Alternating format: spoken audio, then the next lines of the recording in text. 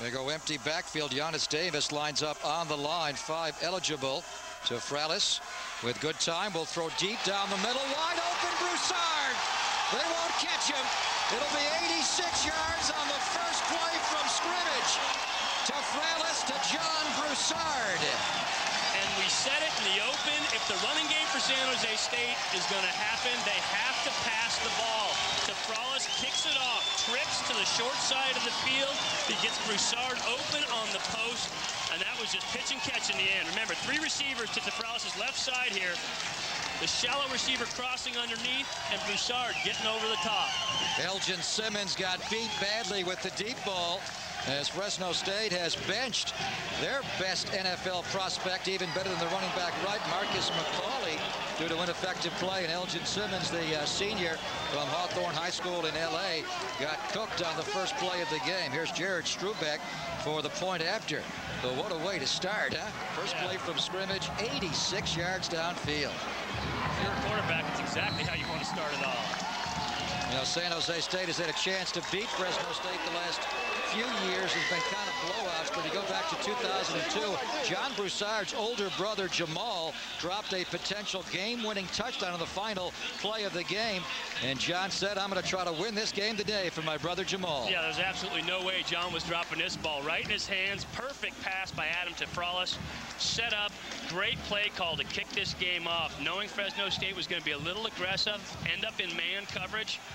They just took all the underneath routes to influence and left Broussard one-on-one -on -one to the outside. 16 seniors are playing their final home game today for the Spartans. Tafralis will be back next year, but uh, John Broussard and James Jones, their two best wide receivers, are saying so long today to Spartan Stadium. Of course, they have the bowl game coming up in Albuquerque two days before Christmas. Tafralis with his 16th touchdown pass of the year, Mike, versus just six interceptions. The, the efficiency numbers for Tafralis this year compared to last year, remarkable remarkable, the improvement. Yeah, absolutely juxtaposed compared to last year. 48.6% passing last year. More interceptions than touchdowns this year. He's absolutely turned it around. Had a huge part of that, Dick Tomey told us, that this new quarterback coach, Marcus Arroyo, a guy that actually played the position, was extremely successful here with the Spartans, came back. He's now being coached by a quarterback, and he's taught to Tafralis how to read the game, how to play the game at that position, and manage what you do on the field. There's Joe Fernandez, the son of former San Jose State Spartan great Mervin uh, Fernandez, Swervin Mervin, who played for the LA Raiders for many years. And I think he's here today. Jared Strubeck to kick away. Chaston West is also back for Fresno State. This will go to Fernandez, the senior. And he'll be tackled right around the spot where Jacob French was tackled on the return for San Jose State. Only an eight-yard return. David Bowen, a backup Cornerback in on the tackle for San Jose State, along with backup linebacker Chris Reese. And Josh Shirley, starting safety for Fresno State, absolutely sent a message on that return. He had a huge block on the return. so a lot of passion in this game already. Here's Tom Brandstater, Mike, the embattled quarterback of the Bulldogs. He started their first six games. They booed him a lot. They benched him for a couple of games. He said partly his numbers aren't great this year due to a, a rib injury suffered in week two against Oregon. Dwayne Wright in the offset I, number 32, is going to be the big player for Fresno State today. Play action. Brandstater going down the field, broken up and intercepted by Christopher Owens. And Owens breaks a tackle of Fernandez. Down the sideline, and he's finally going to be under tackle by Wright at around the 30-yard line. Brandstater was going deep for Chaston West, and Christopher Owens, the other cornerback to Lowery, comes up with the interception. And this game going all San Jose State's way right now. Coach Tomey told us yesterday that because Lowery has been so good on his side, teams have been going after Owens. And Owens, just a sophomore this year, has grown a ton because of it. He's been faced with pressure. That time, a great job of baiting Brandstater. Stayed high above the receiver and cut at the last second. That's it. That is textbook if you're a corner on how you play the post. Boy, what a start for San Jose State. Their first play on offense, 86 yards and a touchdown. And now their first play on defense, Fresno State trying to come with a deep ball off play action. And Owens comes up with the interception. You know, Coach Pat Hill told us during the week that he's been told all week long about how they were going to get their butts kicked in this game. And you could hear in his voice how feisty he was saying that. Well, right now, San Jose State is taking it to him. And I know Coach Pat Hill isn't very happy. He's not happy about a 4 and 7 record. They are 4 and 3 in the WAC, though, the same record that San Jose State has for Fresno State. Their first losing year, and first non-bowl campaign since 1998. It's the same formation they used to open the game. They are going to motion Davis to, to Fratis' right. Fratis will throw. Now under pressure. And he'll throw it a little too high for Davis and incomplete. As he got some pressure up the middle. Take a look at the players around Tafralis. Yonus Davis, again, the featured back. He is 53 yards away from a 1,000 on the year. Callier will be his lead blocker. Clark, the tight end. Jed Jones and Broussard, a couple of very good wide receivers. Matt Cantu is the best on their offensive line as the senior plays his final home game here at Spartan Stadium, the left tackle. And they like to run the football at 183 and a half yards a game. Second best in the conference and number 17 in the nation. And there's the guy, Yonus Davis. Going with the unbalanced line right now. They are going to uh, motion out of the I formation. Jacob French lines up on the line of the timeout called by San Jose State. All those big guys didn't know where they were supposed to go. You know, they've been playing this unbalanced line. Coach Tomey told us they have tight ends who can catch the ball, but they don't feel comfortable about their tight ends being able to block. And so they're moving the big guys over to get that unbalanced look. Pretty quick start, huh? We played just one minute and 44 seconds. We've already had a touchdown for San Jose State and this interception by Christopher Owens. Tonight on Comcast Sportsnet, the Kings hold court against Tim Duncan and the San Antonio Spurs. Jim Kozimor will get things started with House Party live at 4.30, and they'll tip it off at 5. Kings at Spurs tonight only on Comcast Sportsnet. Greg Papa, Mike Podolsky, Scott Marsh downstairs. Adam Tafralis and the Spartans on the game's first play, 86-yard touchdown pass to John Broussard. And the interception by Owens.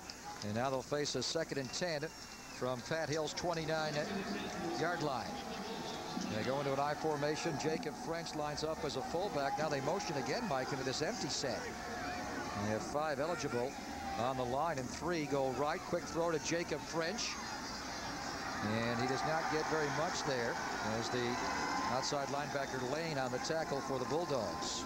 Let's take a look at Fresno State's uh, defense. And it is a very young group up front. Tyler Clutts is their best player on the front line with five quarterback sacks. Dwayne Andrews, the middle linebacker, 79 tackles, good for ninth in the WAC. Into the defensive backfield, safety Josh Shirley is their second leading tackler with 71. The number to look out for today is number 17, Marcus McCauley. How much will he play in his final game? The graduating senior is off to the NFL. Out of the shotgun now, inside handoff to Davis. Tries to get wide, breaks a tackle and runs for a first down. Down across the 30, up to uh, down to around the 28-yard line. Goes Yonus Davis, who needs 53 yards today, Mike, to get to a grand. At 5'7", 180, you know, not the biggest of backs, and his legs are moving so fast that you can't tell how fast he truly is, but he has great speed out there, just got the corner, really earned it with the speed off the outside and gained the extra yards. Ran right through free safety. Vincent Mays, the senior for Fresno State, playing his final game out of uh, Rancho Cordova. Of course, the Bulldogs are done. They're not going to a bowl game. A few of their better players on offense, including Wright, will play in the Hula Bowl, but for most of them, this is the final game of the year. Davis came in motion, coming left now, and he breaks one tackle and gets down to around the 15-yard line. That was Josh Shirley, the safety that came flying up, and Davis able to get off that hit. Nice job of Davis getting low, getting underneath the tackle, and getting the extra yards at the end because Shirley had him dead to rights. Davis has been tiptoeing around a little bit back there. Coach Tomey told us that he wanted him to hit the hole harder, go downhill, be a downhill back. Obviously, at 5'7", 180, you can't be a, you know, a one-gap guy the whole time but you have to hit the hole faster and then make your moves once you get to that second level. They motion him out again. French the lone back to Fratis. Will dump it out to Davis. Good block by James Jones, the wide receiver. And he's very near to a San Jose State first down inside the Fresno State 10-yard line. Interesting formation the way they're coming him out and flexing him out, putting him on the line and uh, throwing the ball more to Davis out in open space. Good well, block by Jones as well, Mike. Coach Tomey told us that Fresno State was just more physical up front. That's what they were. That defensive line is strong. 27 sacks on the year. So what do you do to take them out of the game? You get the ball to the outside in a hurry. If you can do that, you can wear down some of those big guys, take advantage of your speed on offense, take away their pressure on defense, and get something rolling on offense. Dick Tomey has revitalized programs before, both in Hawaii and Arizona. And he's doing it here in San Jose. Third down and two. Play action. Tafralis will roll and throw. Caught by Callier, and he's into the end zone or very near to it. He's got the first down, and he's got the touchdown. Touchdown, San Jose State and James T.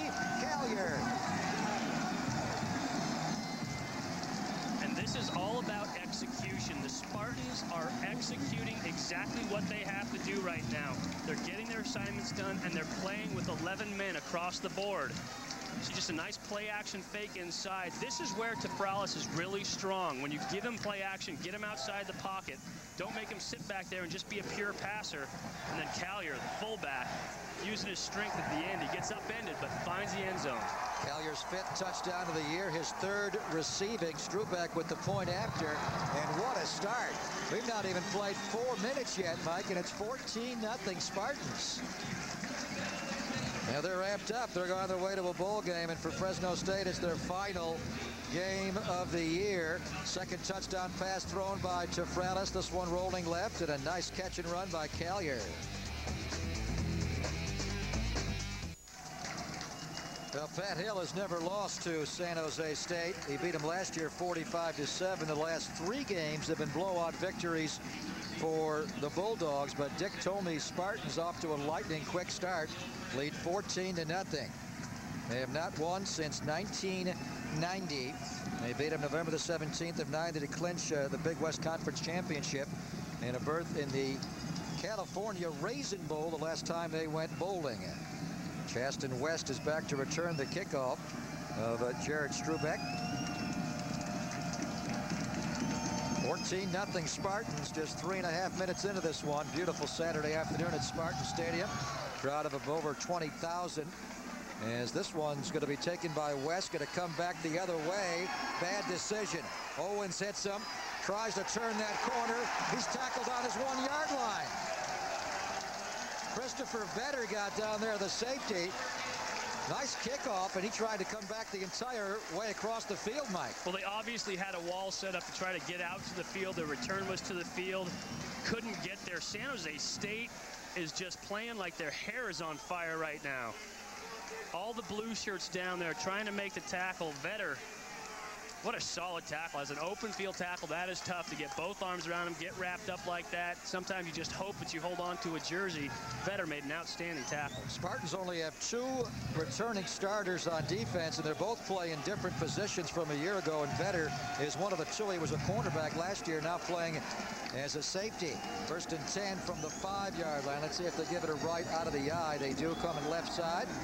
And he squeaks out to around the eight-yard line, a pickup of three for Dwayne Wright, who is already well over 1,300 yards on the year. He has a very good blocking fullback in Vercher. There, Pasco, the big tight end, a former high school quarterback, and Chasten West and Joe Fernandez try to pick it up for the injured Paul Williams. Very young and uh, injured offensive line. Chris Denman is the best of the bunch, a former walk-on, playing his final game as a Bulldog over at right tackle. Second and seven. Here's Wright again, and they need him in the hole. He breaks one tackle of Demaja Jones. Crosses the 10 and picks up about three. Third down coming up for the Fresno State Bulldogs. We're going to look at San Jose State. They lost nine starters on defense. Freddie McCutcheon is the most uh, veteran of their young defensive line, a junior. Matt Castelo, as Mike talked about earlier, fifth in the entire nation in tackles over 12 a game. And Lowery guy who has all the publicity with eight interceptions to tie a Spartan record, but Christopher Owens has already picked up one today. Third and three.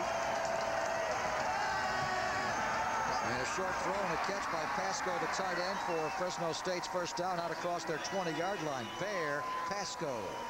Taking advantage of the zone, San Jose State just sitting back in a straight cover two, 42 look, a nickel defense. Pasco did a nice job sitting down, finding the hole, and getting moving the chains, getting that first down.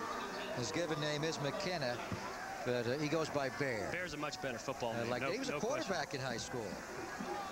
A lot of guys that play at the next level are. In high school, oftentimes you put your best athlete back there at the quarterback position since he's running everything. First and 10 for Fresno State. They go into an I formation. And the handoff to right up the middle. Good cutback. He's tough to bring down. He slides and just finds openings. Has very good vision. He picks up seven yards there before Christopher Vetter, the safety, knocks him down. That's really been Wright's strength all year long. He hits the he hits the hole going downhill. You see him hitting it strong, and then once he gets to that second level is when he makes his first move. If you try to make your first move too early, you get stalled behind the line of scrimmage, and you get tackled there. He gets downfield, and then he cuts and gets the extra yards. Pretty good game last weekend, last Friday at Louisiana Tech when he was five yards away from a, a 300-yard rushing game, and he scored the winning touchdown in the final minute of the game on a 33-yard run.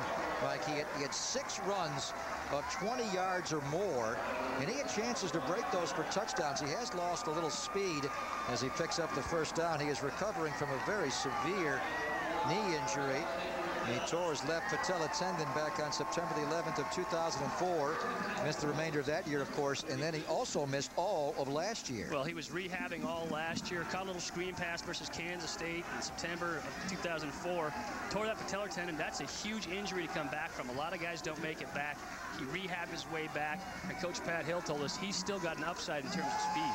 Brandstater on the roll, throws short to Wright, who typically has very good hands. He was well defended that time by Vetter, the safety in San Jose State. We talked to Dick Tomey yesterday, Mike, and he's very aware of the, the screen game. They like to throw the ball quite a bit to right out of the backfield. Well, and he makes a good point. You know, Tomey's been around the game for so long. He said good teams run the football. That's the first thing they do. Then they run play action and screen you to spread you out. Fresno State's been efficient with that all year long. It hasn't showed up in the wins and loss column, but they're a very good screen team. Second and 10. We have a slot formation left for Brandstater. And the handoff goes to right up the middle, and there's Matt Castelo, the middle linebacker, who was in on the tackle as we head downstairs for an update from Scott Meyer. Scott? All right, Greg, thank you. If you take a close look at the Fresno State helmets today, you'll notice something noticeably not there, and of course that's the Bulldogs, which has become a tradition under Pat Hill. For the last three weeks, they haven't played with the Bulldogs on their helmets. That's because, obviously, going through a seven-game losing streak, the players and coaches felt like they hadn't earned their dogs. They took them off. They've won three straight, but they're still not on today, Greg. Back up to you. And you see that V for Valley. In the great Central Valley of California, they honor, but no Bulldogs. Third down and five. Brandstater out of the shotgun. And it is caught by Joe Fernandez for a first down, pushed out by Christopher Owens.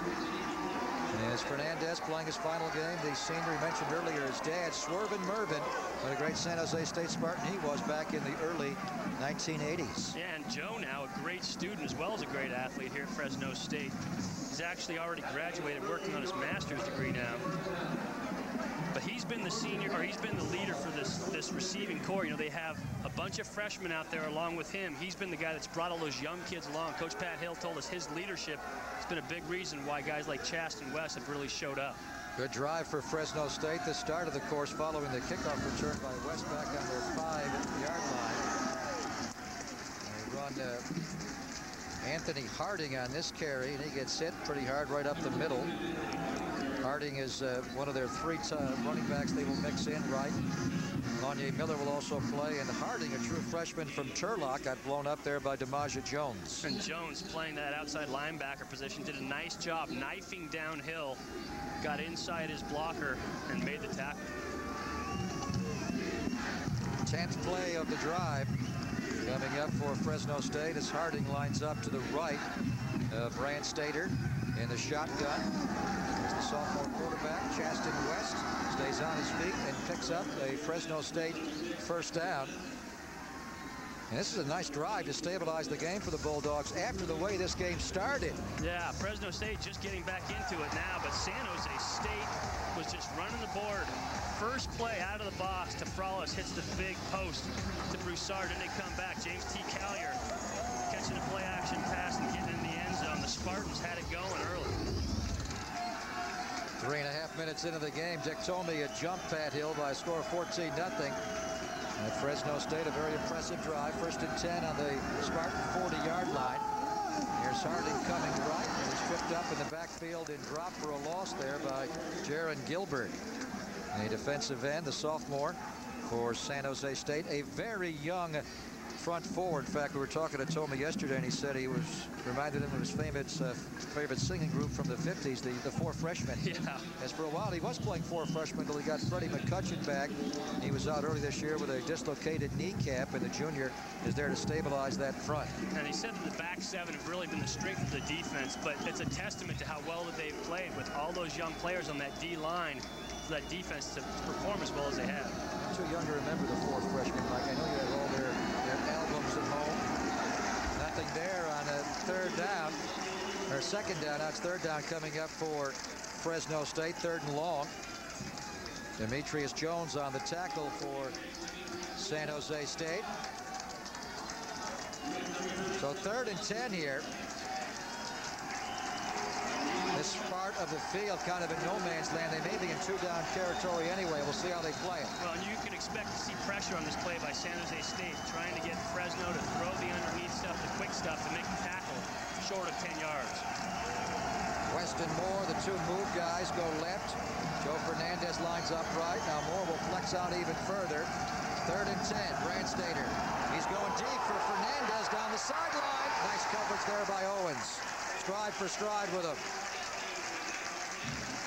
Perfect coverage. Owens got that interception early on defense for the Spartans. And then he comes back and is step for step with Fernandez. You see both of them playing a little hand game there, pushing off of each other. But he made Brandstater throw that ball too far downfield, overthrow Fernandez because of the great coverage. Now they are going to bring in the punter, Kyle Zimmerman. What a great drive. 13 plays, 55 yards. They had the ball for seven minutes, but they will punt it away to James Jones, standing back at the 10-yard line. Zimmerman trying to pooch it inside the 10. It'll land softly and be down right at the 10-yard line. And nicely done there by Kyle Zimmerman, the junior punter from Visalia. San Jose State gets the ball back. They've already got a couple of touchdown throws from Tafralis on their first two series. We'll check them out in the third when we come back. Well, we go from college football to college hoops tomorrow on Comcast Sportsnet as Notre Dame travels to Maryland to take on the 19th ranked Terrapins. That would be a Big East ACC showdown tomorrow at 3.30 right here on Comcast Sportsnet. Today we're watching a uh, old rivalry from the Western Athletic Conference. This rivalry dates back to 1921. They played in the PCAA and the the Big West. Now it's the, uh, the WAC conference. And it's Tafralis. Hands off to Jones, who lined up in the backfield out of a shotgun. That's James Jones, the wide receiver. He can do it all, though. He can catch it, he can run it, he can throw it.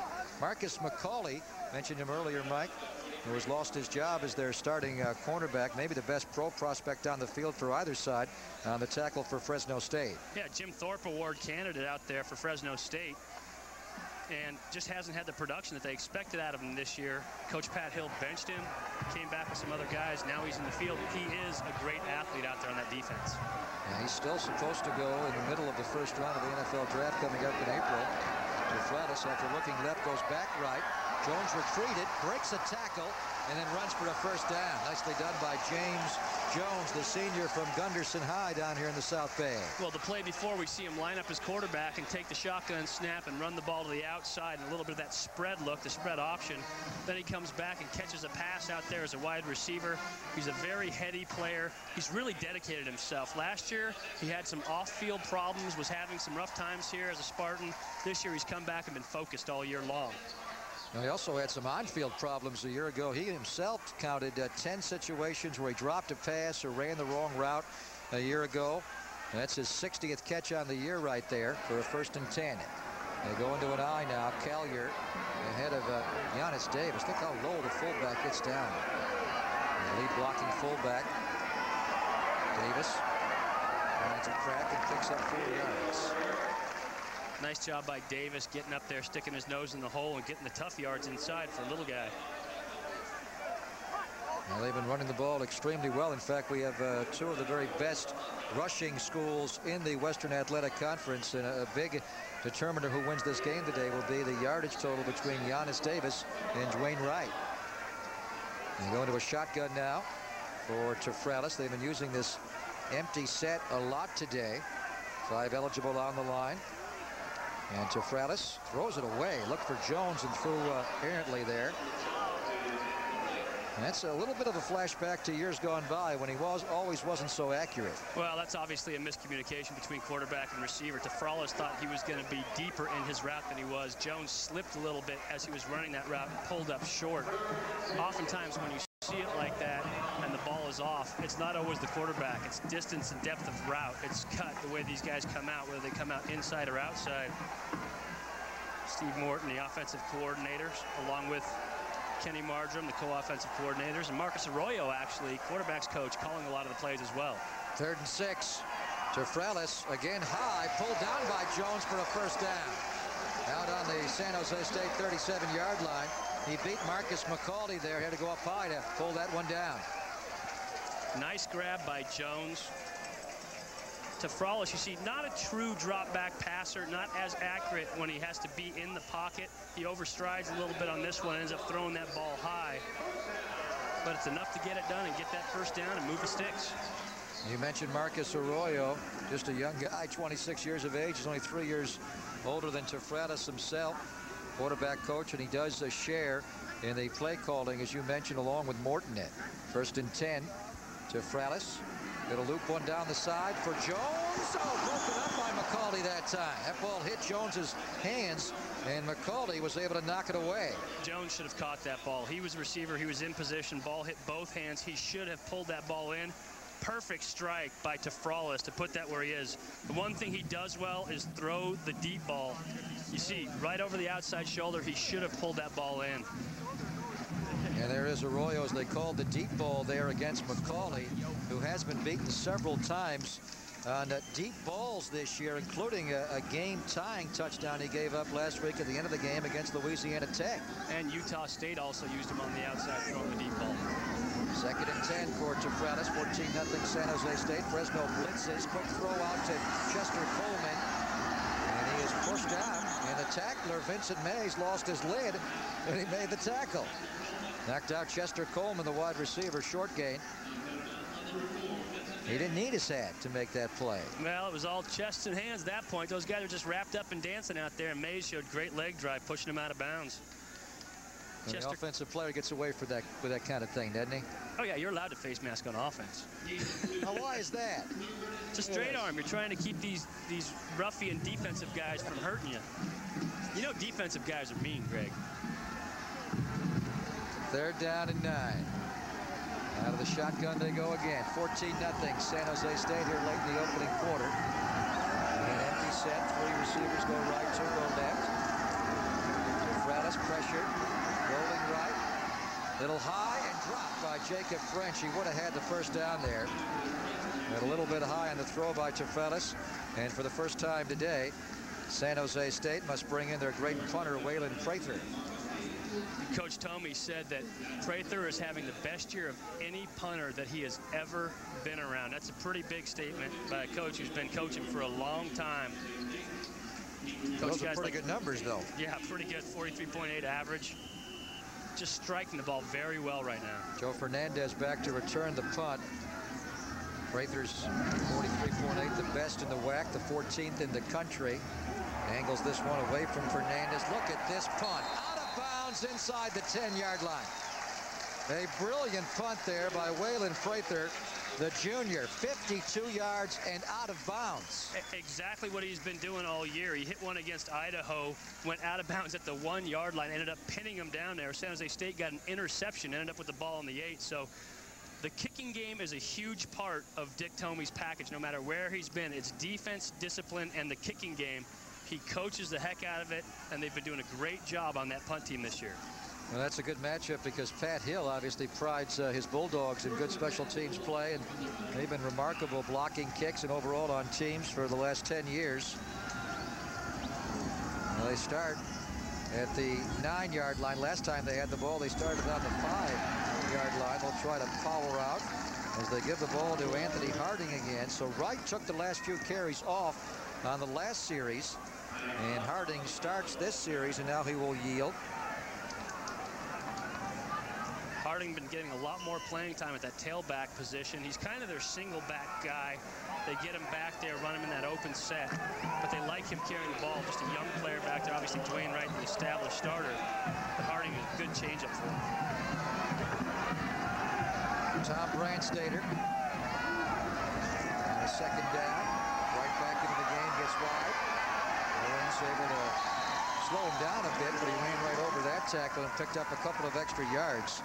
He's a big back. In fact, he ran right over Owens for a first down.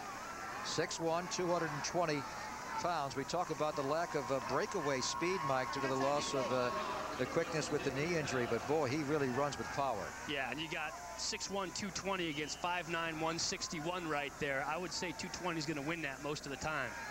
Owens says, hey, just let me cover people. Don't make me tackle the big man. First and 10 for Fresno State here late in the opening quarter. Start showing blitz with Demetrius Jones. Stater rolling out to his right. Will throw. It's caught. And then fouled up and incomplete. It was Jason Crawley, the freshman, who had his hands on the ball, but could not bring it in. See Brandstater just rolling to his right. Wide open receiver there in Crawley, but Crawley just could not hold on to it. Perfect pass by Brandstater right where it's got to be. Crawley was slipping a little bit as that ball hit his hands, but he still got to make that catch. We mentioned the injury to, to Paul Williams, and it's been all year. First a high ankle sprain, later he had a knee. Now he has torn ligaments in his wrist. They just miss Paul Williams, who wears number one and is the number one target in their passing game. Wright finds a crack, runs through it, first down. And all the way up to the Fresno State 37-yard line goes Dwayne Wright, a 16-yard run. Well, Dwayne Wright's going to have to be the guy for Fresno State. He's he's been their star tailback. He's going to have to carry this team on offense today. But he hits it hard downhill. You see him just straight ahead and then makes his move in that second level. Once he gets to the linebacker level and just starts dragging blue shirts down the field with him good skills, and for a big man at 220, cuts nicely. He doesn't make the lateral side-to-side -side stuff, but he makes a nice slash when he runs. Dwayne Wright has already announced he is going to forego his senior year. He has a couple of kids, and he is going to be drafted. They think in the first day of the NFL draft in rounds one, two, or three. Uh, he's not, it was mentioned before, the lack of breakaway speed, but he's got good hands. He picks up the blitz well, a good blocker. And he's going to the NFL, he's already said. An outstanding blocker back there as a tailback. He, he does run the ball, obviously, extremely well. Pat Hill said he's got a real upside left in terms of speed. Right now, he's probably a 4-7 guy in that range, but he's still recovering. Remember, he was rehabbing all last year. He's recovering from that knee injury, and with training and flexibility, his speed will increase. Second and seven. Brandstater blitzed by Vetter. Quick throw over the middle. And It is caught by Miller the back. And he runs out for a Fresno State first down. Castelo on the tackle of Lonyae Miller. As Brandstater got that away, Mike, he was under siege by the blitzing safety Vetter. Well, a great time to call the screen is versus the blitz if you can block the man who's supposed to take your screen man. The problem is if you're a quarterback, you're going to take a shot if you're throwing it against the blitz because those guys are coming unblocked. So Brandstater paid for it, but Fresno State got a nice gain out of it. Well, after the first three and a half minutes of the game, when they scored two touchdowns, San Jose State, Fresno State has been the better team. They've had a couple of nice drives starting from inside their 10-yard line. There's Miller again, breaking tackles, breaking into the secondary and picking up a first down to the San Jose State 40-yard line. Well, to yeah. pick up on what you're saying, Greg, you know, San Jose State really was two huge plays. They had the big post to start it off to Broussard, and then they came back with the big interception, which led to that touchdown. Fresno State's offense was only on the field for one snap at that point. Right now, they're starting to get something going with that running game that Pat Hill loves so much. Remember, this guy is an offensive line coach by nature. He is going to run the football at you. The, the, game is won up front by the big bodies, and he thinks he's got a group, although it's patchwork right now, that's more physical up front. There's the handoff to Miller again. They give Wright a couple of plays off again. These uh, young backs they have behind Dwayne Wright. They're certainly going to be good players for Fresno State. They're both true freshmen.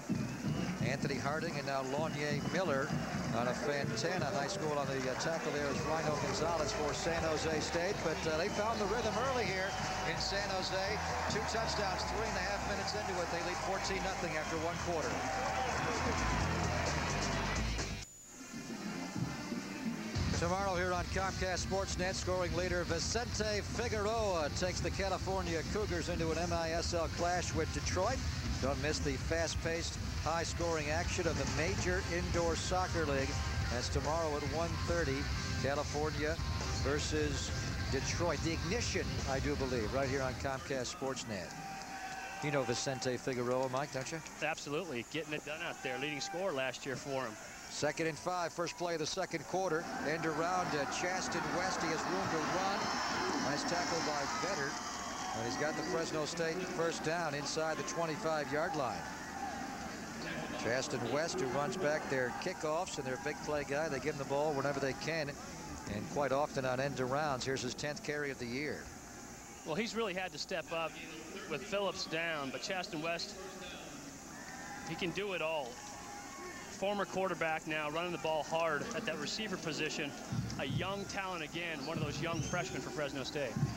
There's Fresno State again on the move. As they have uh, driven twice from inside their 10-yard line right back into the game. Demaje Jones came slanting down from his rover back position, the outside linebacker slot to hit him behind the line, right able to fumble forward for a couple of more yards. Right now with 50 yards on the day, uh, nine carries. He had 295 in their last game last Friday night against Louisiana Tech. So Gilbert and the Spartans have to dig in uh, defensively. The uh, sophomore from Chino Hills. And he was called out this year. Dick Tomey said he was not playing uh, well enough to start the year. And he said to pick up his game a little bit. Second and eight.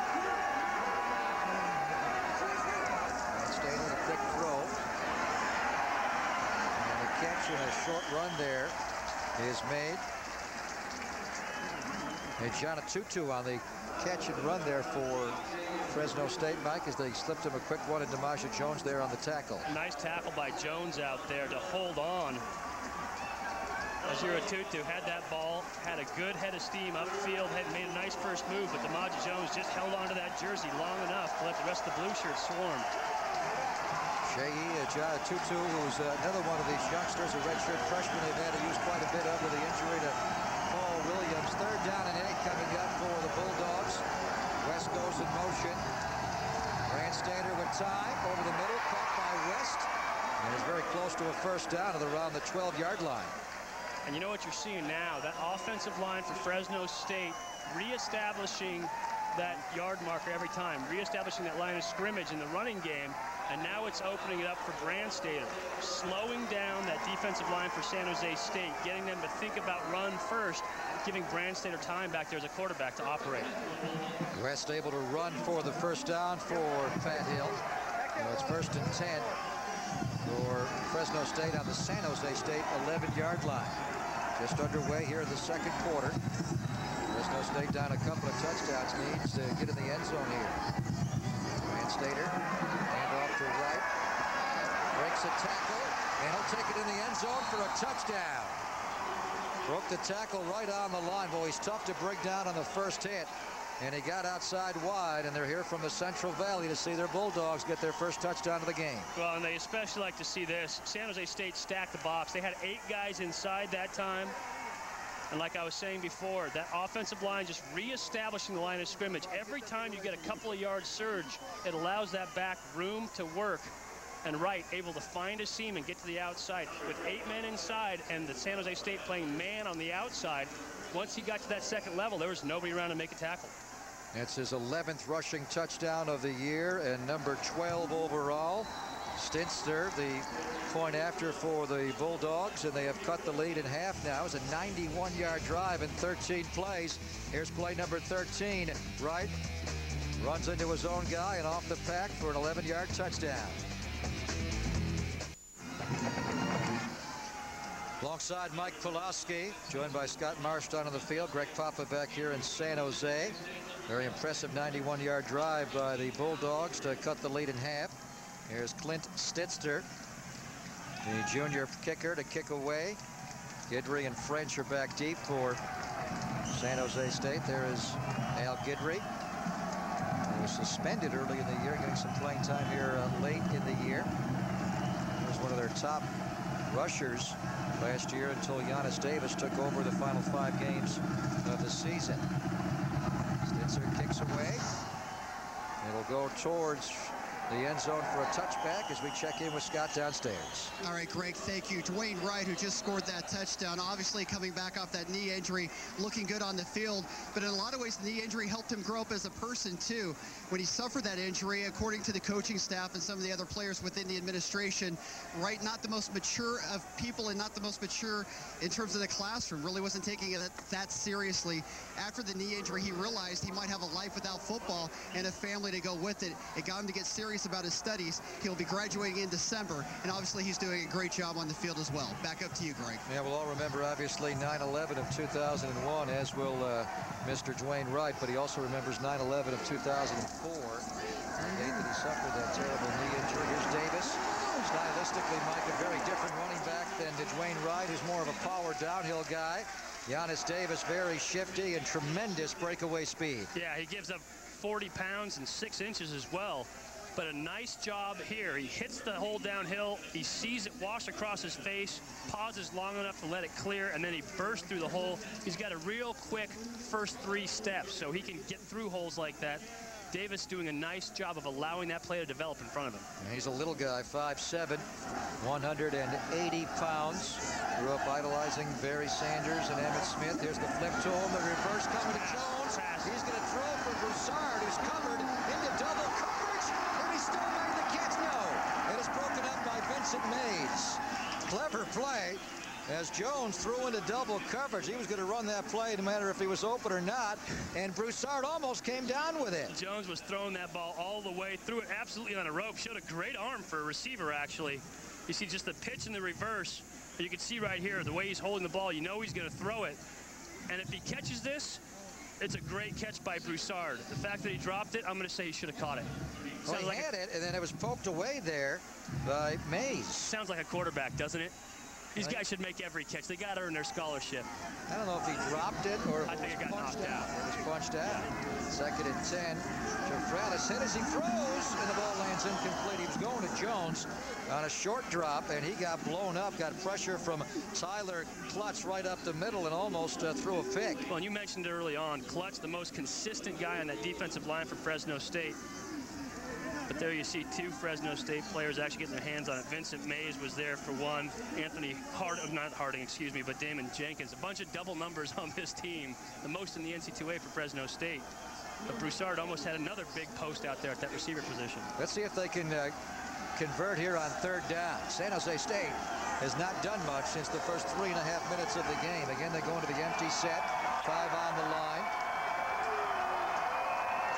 This is Cameron Island, the freshman motioning in the backfield. They run the option to Fralis. Will run for the first down and more. Finally pushed out on the Bulldog 40-yard line. A 27-yard run by Adam Tafralis. And really not his strength, not the niftiest guy, which makes that such a good play call. You don't think he's going to come at you a ton on the option or keep the ball on the option, but he did a nice job of reading the blocks in front of him. You see just a nice hole opening up for him.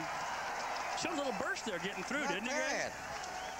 he, Greg? Not bad, and he's powerful, 6'2", 215 pounds. In uh, high school, he was a track and field star, and he threw the shot put and also threw the discus. You think more offensive linemen. James Jones now lines up as a quarterback. Here's Jones throwing deep for Coleman. James Jones wants to go back to his Gunderson High days here. He wants to play quarterback. He's doing it all today. His second pass attempt on the day, one on that reverse we just saw, and then coming back straight from the quarterback position. You know, if he's going to play, he's got to take those gloves off, though. He's got those receiver's gloves on there. You don't get the same touch without those gloves. I bet he throws a nice spiral and completes that pass. Well, Tom Brady plays uh, throws pretty well wearing gloves. Yeah, but Tom Brady practices that position every day. I think Jones might still, Mike. He seems like he uh, he slips under center a little bit in practice. Second and 10, they go into an eye. And it's the handoff to Callier on the quick hitter, and he runs for a first down. All the way down to the Fresno State 23-yard line goes James T. Kelly, who scored the touchdown on the catch earlier. 17 yards right up the gut. A big difference between how Fresno State was getting it done with that offensive line and how San Jose State's getting it done. Fresno State was reestablishing the line of scrimmage. They're pushing guys off the ball, moving them downfield.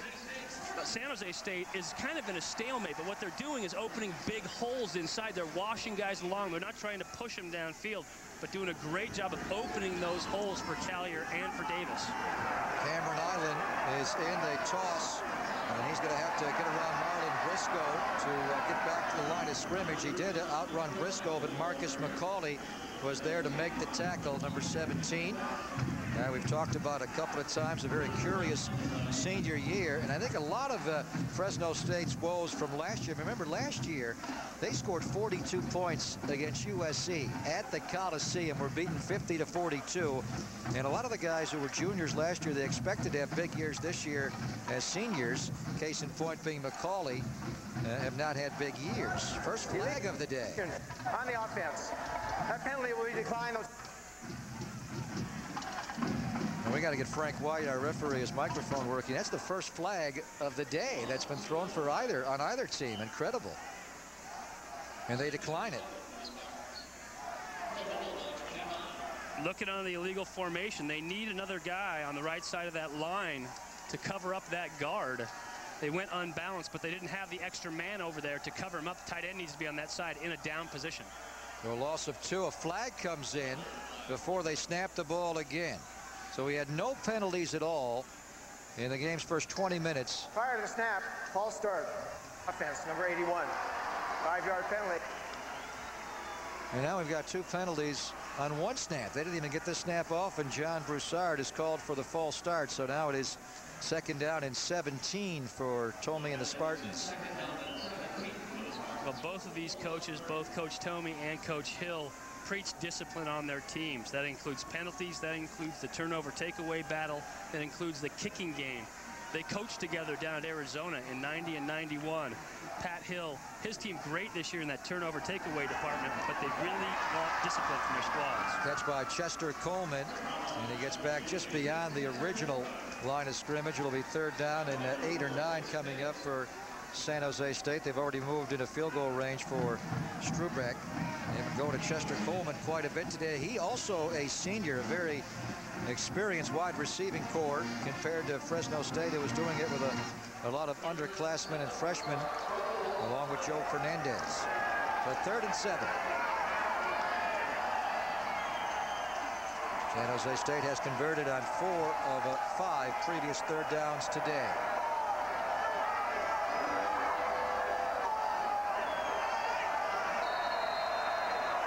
Is taking a long time at the line here. This one will get whistled down again.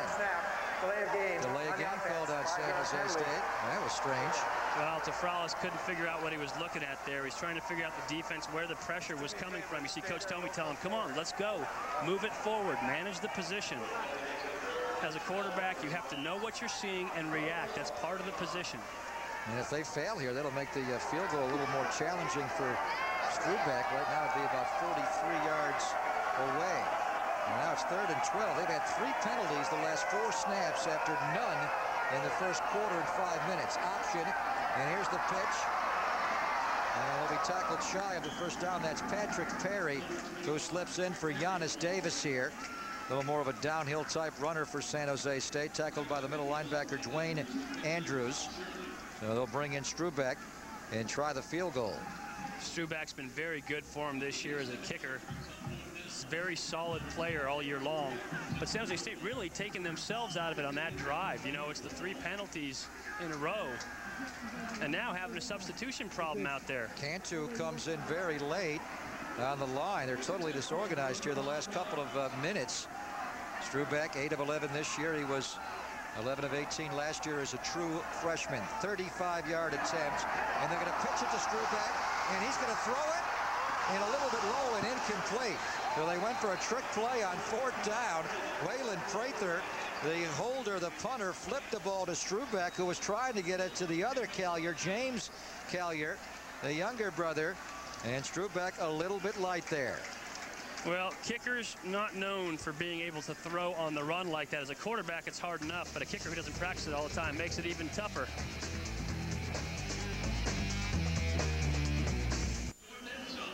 Must be a uh, accounting major on the scoreboard here at Spartan Stadium. They gave him the three points anyway. I think that's the score of the fans who are watching on their Xbox at home watching it, this game. It would have been had they gone for the field goal, but they flip it to Strubeck. And very close to crossing the line of scrimmage. And then a little light on the throw to Callier. So they were going to make it 17 to 7. I think that's what they meant. The score is 14 to 7. Brandstater, quick throw out to the back. Anthony Harding you know, college is all about theory, Greg. It's philosophy. In theory, that field goal would have been good had he kicked it, so exactly. they decided to give it to him. I'm thinking along with him. Look at the time of possession here. Mike, you take away the first three and a half minutes of this game, Fresno State has been the better team. But in the first three and a half minutes, San Jose State, first play from scrimmage, 86-yard touchdown pass to Broussard. First play for Fresno State, the interception shortly after that. A touchdown throw to Callier. Fresno State is uh, looking strong as they come back. You know, oftentimes time of possession is a good indicator in terms of who's winning and, and who's really playing better on the field. But in the end, it's what's on the scoreboard. San Jose State with the quick strikes being able to take advantage of it early in this game and has forced Fresno State to struggle a little bit. Third down and two coming up as Justin Cole and the Spartans dig in. Big crowd here at Spartan Stadium. They had almost 30,000 when Stanford was here for week two, and they expect to get well over 20 today. Third down. Here's Wright hit behind the line and dropped. Freddie McCutcheon, the defensive tackle, shot in to make the play. Well, Freddie McCutcheon in there. Demetrius Jones playing that linebacker position on a nice run blitz. Came in and blew up the hole. Got out in front of that play. Good job, good defensive play calling there to shut Fresno State down. One thing, if you're going to run trick plays, you have to be able to come back and play defense, and San Jose State got it done. Kyle Zimmerman in a punt for the second time. His first punt traveled just 29 yards. The dangerous do-it-all James Jones set to return for San Jose State, averaging over 11 yards a punt return. Fresno State had to rush the 11th guy back on the field here late. It's a low one. And it'll take a couple of Fresno State bounces. Almost hit a Spartan. And it will be down at around the 34-yard line. Domingo Holmes was very close to having that ball inadvertently hit him, but it did not. There were a couple blue shirts around the ball. Those guys have to get away from it. You know, that punt team, one of the real thorns and Coach Hill's side all year long for Fresno State, only averaging 37 yards net on their punt team. For a guy who really focuses on the kicking game, that's been a weak spot for him on special teams. Final home game of the year here in San Jose. And they're going to play seven home games this year, the most they have played in a single year since 1949. They've gone 5 and one here at Spartan Stadium. The one loss to Boise State, the undefeated Boise State. And that was a heck of a game right to the very end. Right down to the very end. Spartans played them as tough as anybody played them all year long. San Jose State doing a great job at home this year. And opposite that, Fresno State got their first road win of the year last week versus La Tech, but they have not been very good on the road this year. We have a timeout called here as we take a look at the uh, Western Athletic Conference standings. Boise State, of course, undefeated and currently ranked ninth in the nation. Hawaii having a tremendous year under June Jones with their run and shoot offense at 7 and 1. And this game is significant in the fact that although their records are inverted on the year, Fresno State plays a very difficult out-of-conference schedule, Mike, and they have the same record as San Jose State. So if the Bulldogs would win this game, they would move into a third-place tie in the WAC with Nevada at 5 and 3. Right, in the WAC, but again, their out-of-conference schedule was really their undoing this year, playing LSU and Washington, having a tough time out of conference that man believes in taking on the top competition around the nation and proving yourself on that level.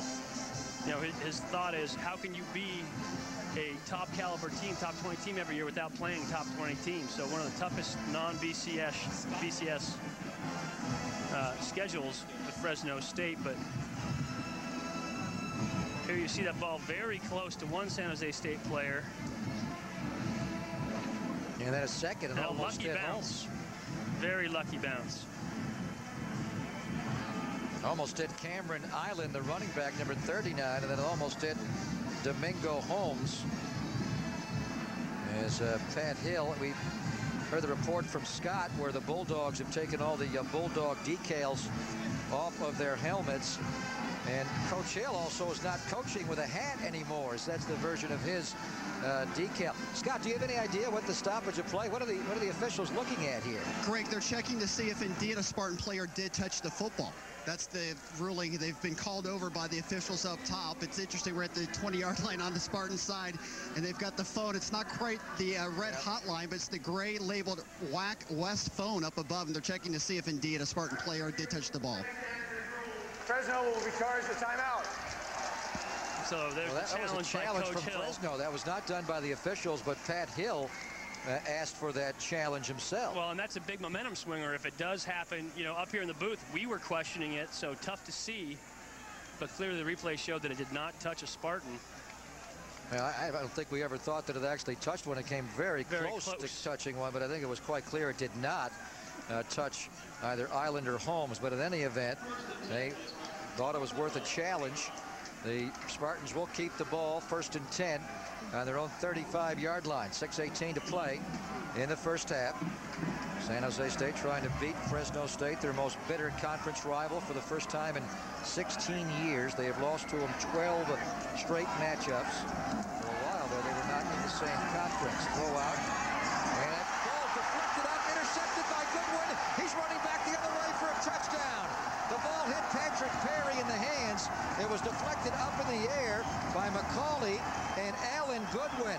The outside linebacker plucked it out of the air. He runs back 40 yards for a Fresno State tying touchdown. I believe that's actually a catch and then a fumble. I thought Patrick Perry had good control over that football, and then it got knocked out when he turned around. But Goodwin in perfect position to make the play. You see just a quick flat route to the left side for Tafralis, and Perry clearly has oh, it. yeah, he's got it.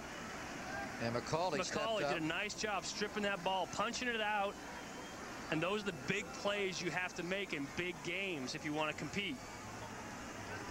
Nice play by Alan Goodwin. The ball just popped up in the air, and he was able to pluck it, but it was McCauley who made the real big play. And we talked about McCauley, the embattled senior, playing his final game as a Fresno State Bulldog today and on his way to the National Football League. We're going to hear more from uh, referee Frank White. Unsportsmanlike conduct on a, a, team scoring the touchdown. The play will be enforced on the kickoff. Number 10, number 40. Too much celebration there for the Bulldogs. Nate uh, Adams was involved, although they have two uh, 40s. It may have been Adams or Brandon Gridiron. And I had to get him to the broadcast at some point today, Mike, whether he was involved. A guy named that's, Gridiron. Yeah, that's a football name if ever there was we one. love that. Talked about it. He should have been a Zeke or a Bronco. How or... does parents name him Brandon? In any event, here's the PAT. And uh, Stitzer puts it through. He's only missed two point afters, but here's the play again. And you're right, Mike. It was caught by Patrick Perry here. He had possession of the throw. No pick thrown by Tafralis. McCauley with a great strip. And Goodwin picks it out of the air and runs for a touchdown. Well, big play from uh, Fresno State side. San Jose State's already had a couple of huge plays, and they get one on defense. Alan Goodwin with the fumble recovery. And the run back for a score. So San Jose State has lost their 14-0 lead here on the first Saturday in December.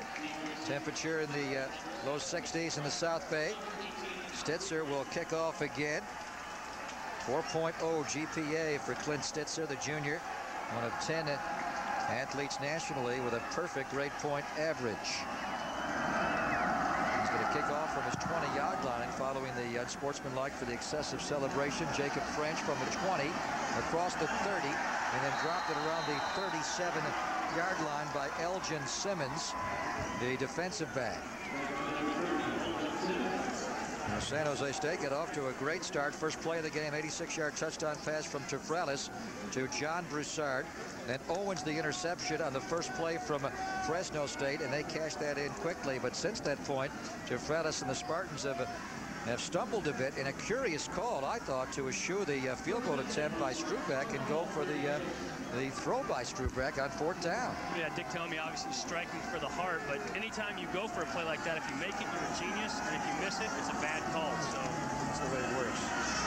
So we say bad call, it didn't work. Here's the handoff to Callier, and they don't get much on first down. Ryan McKinley, backup linebacker, on the tackle for Pat Hill and the Fresno State Bulldogs. Remember, they won their first game uh, beat Nevada 28-19. They proceeded to lose a school record seven in a row. We're one and seven at one point, Mike, but they come here playing well. They have won their last three games. Well, and that's a sign of good coaching, too. It is tough to pull a team out of a downward spiral like that. Seven in a row is a tough string of losses, but Pat Hill actually doing a nice job of pulling them back. Second and 11. Here's Broussard. Slips a tackle, he's very close to a first down and may have it at midfield. He picks up 13 on the second and 11. Goodwin, the touchdown scorer, was the ultimate tackler there, but Broussard makes a nice play. So Fresno State got the touchdown run by Wright here as he gets off the pack, 11-yard scoop, and then just moments ago, a momentum changer, great play by McCauley, Mike, and that ties the game at two touchdowns apiece. Well, two big defensive plays, one for each school, really play a big part in this game so far. One an interception, one a fumble return for a touchdown. A fake pitch to Callier to Fralis. Gonna throw it deep down the sideline for French, but out of bounds. Just drifted with that ball. French actually covered on that play. Damon Jenkins right there in coverage, so good job by Adam Tafralis. Throw it away, come back and get it on the next down. You don't have to get every down. You just have to get enough to get that 10 yards to move the sticks. Second and 10 coming up for Adam Tafralis, the junior quarterback from Mills High School in uh, Millbrae. Haya Lane uh, put some pressure on the quarterback. Mike mentioned the 27 quarterback sacks they have this year, the Bulldogs. Lane has a, a sack and a half coming into the game. Quick throw to Coleman. loose coverage there by the cornerback. Damon Jenkins, so they gave it to it quickly to Coleman for a pickup of about five, so now it's third and five much easier to convert third and five than third and 10. And so San Jose State trying to just move the ball in increments, small chunks right now. As long as you can continue to pick up four or five yards each down, it makes play calling so much easier for you on the sideline. Tafralis hitting on 66% of his passes all year after 45% his freshman year, just 50% last year, his sophomore year. Now it's third and five. Jose State converting on 42% of their third downs all year. Quick pitch to Perry. Breaks a tackle, and he's going to be shy of the first down by about a yard. Fourth down and a yard coming up for Tomey and the Spartans. Very nice job of swarming to the ball by that Fresno State defense. Perry actually had a seam. Perry was actually the big hero against Idaho last week. Yonus Davis ineffective in the first half of that game with only nine yards rushing. Perry came in that second half, scored three touchdowns. They're going for it, Mike. They're going to bring in uh, Jeff Clark and Nick Marchini, the tight end. They're also going to bring in number 71, who we've seen him line up in the offensive backfield a couple of times today. And it's hard to miss him. Jabri Sharp comes in. He's a lineman they play in the backfield. A timeout will be called here, but Tomey and the Spartans are going to go for it. And what they're saying is fourth and two, but really it's a fourth and a very long yard coming up. But Sharp, look at him. He, he doesn't look like a fullback, does he? He's actually an offensive guard out there. Well, he's got number 71, Mike. But he's playing that fullback position, the big lead blocker. All right, San Jose State, we mentioned they're going to their first bowl game in 16 years, and the first time they're going to play a bowl game out of the state of California. So make your plans to be in Albuquerque two days before Christmas. Get your tickets. They'll go on sale on Monday. 1-408-924-SJTX or get online to sjsuspartans.com. The San Jose State Spartans have not been to a bowl game since 1990 when they played at Bulldog Stadium in Fresno in the California Raisin Bowl. Of course, the Bulldogs want their 13th straight win over San Jose State. They've beaten them 12 straight times. It's just good that there's a rivalry again. For those of us that remember the uh, Jim Sweeney Claude, Claude Gilbert. Gilbert. Great battles of the 80s and uh, the towel waving on each sideline. Sweeney waving his towel and Gilbert coming back. And both teams getting after it. All right, they're going forward here on fourth down. He's just going to do a hard count. Try to get him off sides of that hard count. They're not going to snap it on fourth and a long one. Yep, I think you're right. They'll back away. They're not backing away fully. Are they going to run the ball here? No. They try to get Fresno State to jump off sides. They did not go for it. So Tomey called a timeout before he, he did this. And now apparently he's going to elect to punt the ball, although he's not bringing his punt team On out. the offense, number seven. Delay a game. They called delay a game on that? Well, safe play. You know you've got a good punter and Prather out there. If you can get a cheap one, get the free one, you might as well take it. If not, let your guy kick it away and try to pin Fresno State. Just under four minutes left in the game here. Defense had a nice series last time they were on the field. So good coaching call. You know, you might as well take your shot at it. San Jose State has one timeout remaining. Prather trying to push it inside the 20. It'll roll past Fernandez. Did they down it? No, his foot hit the line. That should be a touchback. It is going to be a touchback. Are they going to say the one-yard line? Well, the ball never into the end zone. But the foot of the players, player did. All the players did, but the ball never made it in. Meanwhile, there's a penalty back on the other side here. Hold on a moment. Marlon Briscoe of Fresno State. Right at the punter. Uh, got penalties that, uh, Any any type of roughing. let's see. Frank White, what do you got? Running into the kicker. So it's only five. defense. Five-yard penalty. That penalty will be declined. They will take the results of the play. First down. Yeah, it's only five yards. Remember, they took the delay of game penalty, and they lost five, so it was fourth and six. I can't believe they're going to give him the ball on the one-yard line here. I thought the San Jose State gunner clearly touched the, the end line or actually was into the end zone. But right now, they're putting it up against inside the one-yard line, right up against the end zone. He did, I believe he batted that ball out before he ended up in the end zone. Then it was touched by a Spartan before. It's John Broussard, Mike. See, he batted it out before he hit- No, he No, didn't. no. he didn't. No, his foot How was about in the end challenging zone. that? And that's that's 19 yards. And they do have two timeouts left. So if it's not a, a booth review, which will probably will be now, in college football, it's different. They are going to call Frank White over and he'll Yeah. take a look at this. This will be changed, and they will put the ball on the 20-yard line. He's going to get over there and dial that rotary phone Commissioner. Gordon? didn't, didn't Scott refer to it as the uh, bat phone earlier? Where's Alfred? In any event, this will be changed. It's clearly John Broussard, the wide receiver, getting down here. He will touch the ball, then he will slip right there and simultaneously touch, and the ball on uh, his foot on the line, so they will uh, move the ball out to the uh, the 20-yard line. Yep. Clearly across the goal line with that Although right San foot. Jose State could take the penalty on the uh, running into Right, the they kicker will, and then re-kick. well, that's the thing. If if they call it a touchback, then San Jose State will take the penalty. Right, and re-kick and avoid the touchback.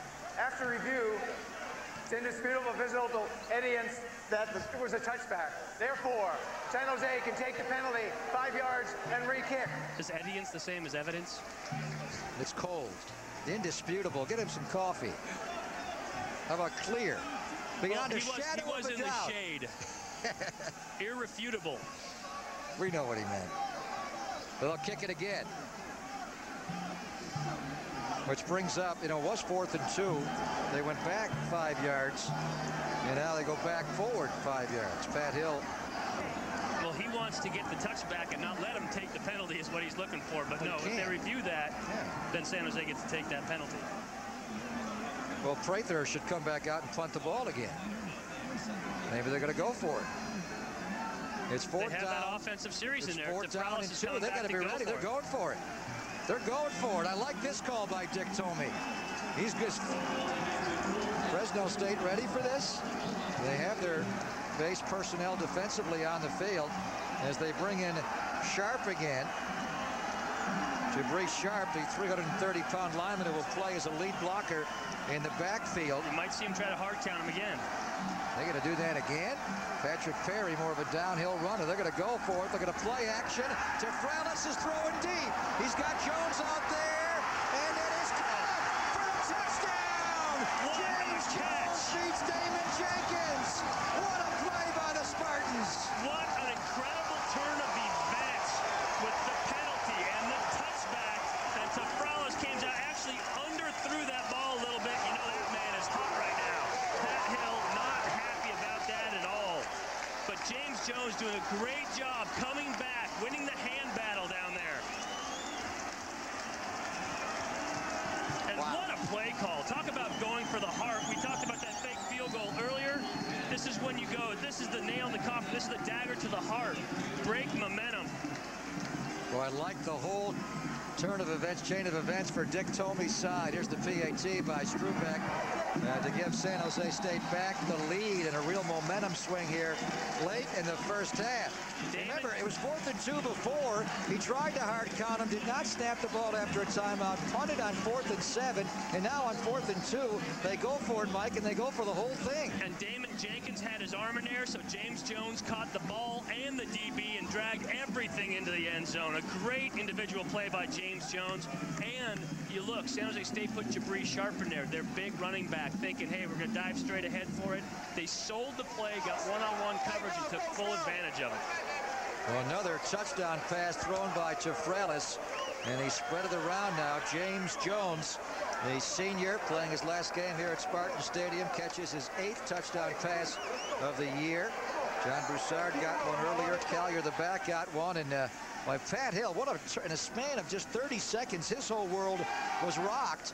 He thought he had a touchback on the ball on the 20-yard line, but a very interesting call there by Tomey uh, to go for it on fourth and two and go for the whole thing. Well, Tomey actually really held all the cards in that whole procession. If it's not a touchback, the ball's in the one-yard line. They take a great field position. If they do get the touchback, they've still got the penalty they can take for the running into the kicker. So they came back and went for it. Again, when we talked about it before, the fake field goal. When you miss it, oh, it's a horrible call by a coach. Going for the deep ball on fourth and short. What a great call, right? That's the ebb and flow of being a head coach. So here's the kickoff by Strubeck. And he'll put it to Joe Fernandez at around the two-yard line. West out to block. Fernandez. He broke free, but not very far as he crosses the 20 and dropped on the 21-yard line. Adonis Davis, a defensive lineman on the tackle. Chris Reese, a linebacker, also on the tackle for San Jose State. Now here's what Fresno State has done. First play of the game, interception. Then twice they began drives inside their 10-yard line. And first time drove out effectively, but punted. The next time they went 91 yards.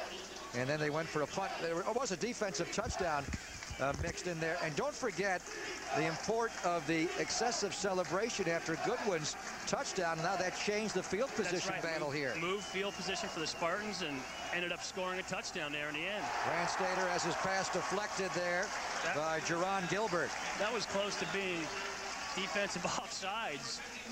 One of the San Jose State Spartans was in the backfield before Brandstater ever got the ball. Now Gilbert got right in the Brandstater's face there on the rollout and tipped the ball away. The sophomore defensive lineman, very young defensive line as we've talked about. Second and 10 for Fresno State. They do bring in Dwayne Wright. He's back in. Brandstater out of the shotgun. Inside handoff to Wright. And he's dropped to the 23-yard line. Third and seven coming up for Fresno State. We saw that San Jose State defense holding the three and out on their last possession. The Spartans picking it right back up when they got on the field. This third down play will be big here for the remainder of the half. San Jose State has one timeout remaining. Fresno State has two left. Well, they've waited a long time here in the South Bay to beat the Bulldogs. 16 long years they've waited to go to a bowl game and also beat Fresno State. They've already made the bowl reservations for Albuquerque. Now they want the Bulldogs. Brandstater. Wright breaks one tackle, but not the second. And he has dropped well shy of the first down by Dwight Lowery. We've not talked about him much today, Mike, because they avoid him. Eight interceptions on the year, but a nice open field tackle there. Yeah, a guy like Lowery, you throw to the other side. You avoid him like the plague as a corner. So doing a nice job of coming up and showing that he can make an open field tackle as well against a big back. Well, it's amazing. After they scored the game-tying touchdown and the fumble, the momentum has swung back to San Jose State. San Jose State, State really took it back. You made the good point. The stupid penalty on the excessive celebration, then San Jose State just took momentum back. Zimmerman. This punt will go the other way, and Fresno State will touch it at about midfield. Zimmerman got the long, wrong there at midfield, so well, San Jose State has already scored one touchdown to reclaim the lead, but they're in good position here to go up more. 144 to play in the first half, Mike, and they have one timeout left. Yeah, talk about momentum swing. If San Jose State can turn around, put some more points on the board going in, their last two drives, get a touchdown in that big turn of events that led to that last touchdown, and come back now and at least get a field goal, they go in pumped up at half, and they have been a very good second half team this year. Dick Tomey letting it all hang out here as he uh, decided not to go for the field goal attempt by Strubeck and uh, to have the kicker throw forward on fourth down, but he went for it all on fourth and two and came up with a big touchdown. He put Sharp in the backfield out of the shotgun, and a quick throw out to Jones. And he's dropped on the Fresno State 46-yard line by the cornerback Damon Jenkins. And Tafralis actually checking to that play. He saw that he had Jones isoed up outside on Jenkins. Saw him tap the hip. He gave him that hitch go option. When Jenkins backed off, Jones smartly sat down, ran the hitch. Yonus Davis healthy over on the sideline watching. Tafralis on the keeper on the option. And not much there. Third down coming up. Dwayne Edwards, the leading tackler for the Bulldogs, the middle linebacker. Came into the game with 79 tackles, seventh most in the WAC. Opened the year with 11 tackle game in their win over Nevada, and he's kept it up all year. 50 seconds to go in the half. Well, with Stanford playing Cal, we felt obligated to uh, bring on a, a, former Cardinal. They have a couple on the San Jose State sideline. There's Ken Margerum, the former offensive coordinator here at San Jose State, arguably the greatest wide receiver in Stanford history, and an NFL star with the Chicago Bears. And uh, he's now changed roles for Dick Tomey, not the offensive coordinator anymore, but the running back coach here. And Tomey said you find your niche with all these guys. You find out how they all work together. Last year, Kenny was coaching quarterbacks this year, and, and he said in the offseason, you know, I thought maybe getting a guy that played the position would be a better move. So selflessly said, let's bring in a guy, you see Marcus Arroyo there, to coach quarterbacks. Let me go back to coaching a position that I'm more comfortable with, coaching running backs, and coaching wide receivers. You know, here's a guy that was selfless with his team, but finding the niche with his staff. Coach Tomey told us this offseason they'll probably make some moves too and, and really fine-tune how the coaches work together. Impressive list of names on the Ring of Honor here at Spartan Stadium. Of course, the great uh, Bill Walsh and Dick Vermeil honored.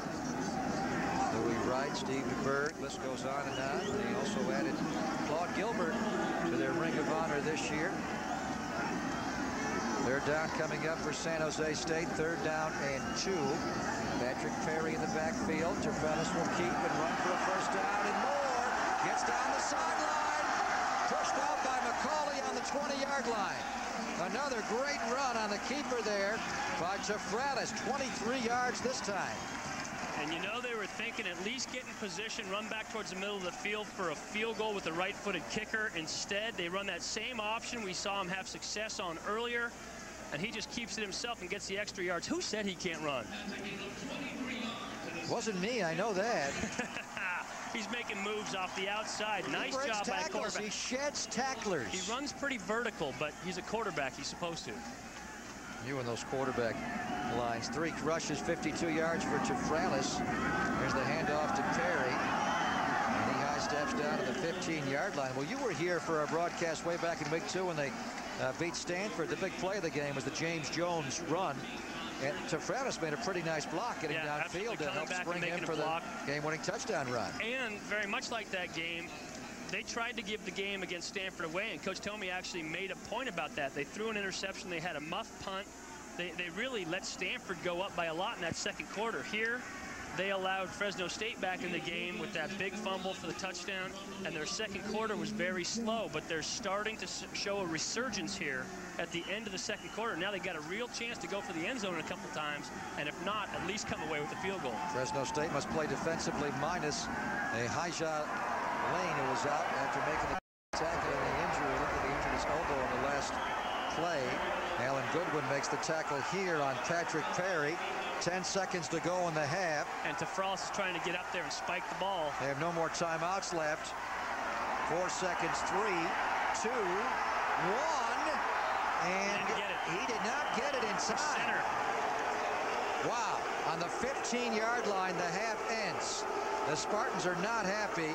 Frank White, the referee, will come in. Dick Tomey walks right on the field and into their meeting, and we'll see if the well, Fresno State's running off the field and going back into their locker room smartly. We'll see if the Spartans will get one more play here. And Absolutely. Paysinger, the, the center, needed to get over that ball and snap it and get it so that they can spike the ball. Fresno did hold them up, but San Jose State had an opportunity to spike the ball. Even if you take the penalty, get it snapped, spike it, kill the clock. The Bulldogs are in a race to get off the field, and uh, White has already closed out the proceedings here in the first half. And uh, we are going to talk to Dick Tomey coming up in just a bit. Scott Marsh is not going to be uh, in a real happy conversation with the coach. His team played well, and we love that fourth and two uh, uh, deep throw for the touchdown there before the end of the half. But he's going to be very agitated as he is still going off the field, uh, walking with Frank White, our referee. And Scott's there walking stride for stride to keep up with the coach, who has not lost any of his feistiness at age 68. And what a year he has had revitalizing this program. Uh, he is uh, understandably, I think, a little bit hot that they uh, first at his team for not getting the playoff and also with Frank White. Scott Marsh will try to calm him down as he chats with Dick. All right, Greg, thank you. Obviously, Coach, a tough ending to the first half. Obviously, you thought you had some time left on we the had clock. time. I mean, the official wouldn't let him. I mean, let's not talk about it. Okay, we'll move on. Obviously, some big plays in the first half for your team. A lot of momentum for you guys with the big pass up top. Yeah. I'm not very conversational. I'm sorry. No problem. I'm Thank upset. you. Forget it. Thank you, Coach. Greg, we'll go back up to you. I tried, but you know how it is right now. Well, you know what happened? The umpire, Steve Colder, I think, as he was walking through, he actually interfered with the ball being snapped there. So it wasn't just a mechanical error on the Spartans in the center Paysinger, but the umpire walked right through as he was trying to snap the ball. That's the greatest interview I've ever heard, by the way, heading off at halftime. Most of the time it's, yeah, we played well. Don't you love that? Showed absolute composure, even He's though so he was mad upset. he can't talk. Have you ever been to a restaurant and said to yourself, I'd like to make this at home? Well, you can. It was all San Jose State early. Fresno State came back to uh, tie the game, and then San Jose State, we thought had the momentum late in the first half with that wild play and the non-snap uh, right up against halftime. I'm not sure who's feeling the momentum here at halftime. Greg Papa rejoined by Mike Pawlawski. What a good first half we had. Oh, great first half of football. You saw the ebb and flow of college football, rivalry game here. San Jose State kicks it off. I mean, tough with a big offensive play, huge defensive play to come back, and Fresno State starts asserting themselves. Two good teams physically matching up pretty tough. Two coaches that believe in discipline. We're seeing it on the field. Yeah, good matchup to be sure. Two old-time antagonists, and it's just good to have this rivalry uh, renewed here with San Jose State's football program uh, back on the upswing. But they rolled up 300 yards of uh, total offense, and it came uh, initially right away. The first play from scrimmage Tafralis goes down the field deep for an 85-yard touchdown pass to John Broussard. Well, a whole lot easier to reach that 300-yard mark when you start off with 85 right out of the gate. The big scoring strike right off the kickoff return. And then, of course, on defense, they get the big interception. Christopher Owens coming out, tipping that ball to himself. A nice little return, but what it did is set up that offense for San Jose State. James T. Callier catching a pass, going head over heels into the end zone. And all of a sudden, San Jose State's on top, 14 to nothing. Fresno State has to respond. They come back. Dwayne Wright, he's been the workhorse all year long. You give him the ball. It was a nice drive for the Bulldogs there to get down to the end zone. And then this, the fumble recovery for a touchdown. Alan Goodwin off the outside. I mean, just perfect opportunity right out there. The ball falls in his hands. You got to make that play. And then talk about your game-changing series here. There's a punt. It goes to the replay. it's ruled that this is a touchback. So Coach Tomey, in classic Dick Tomey fashion, decides to go for it all the next play. This is fourth and one. You get Tafralis back there throwing deep for James Jones off the outside, and really a great individual effort by James Jones to make that play, to make the catch off the outside as a receiver, you have to come up with that. Tafralis to Jones was a huge play there for momentum. And here are the final numbers, Mike. 307 yards of total offense for San Jose State, despite the fact they had the football for less than 13 minutes. In Fresno State, 156 yards, and they had the ball uh, for over 17 minutes. Well, Scott tried to talk to Dick Tomey going off the field, but he was so enraged.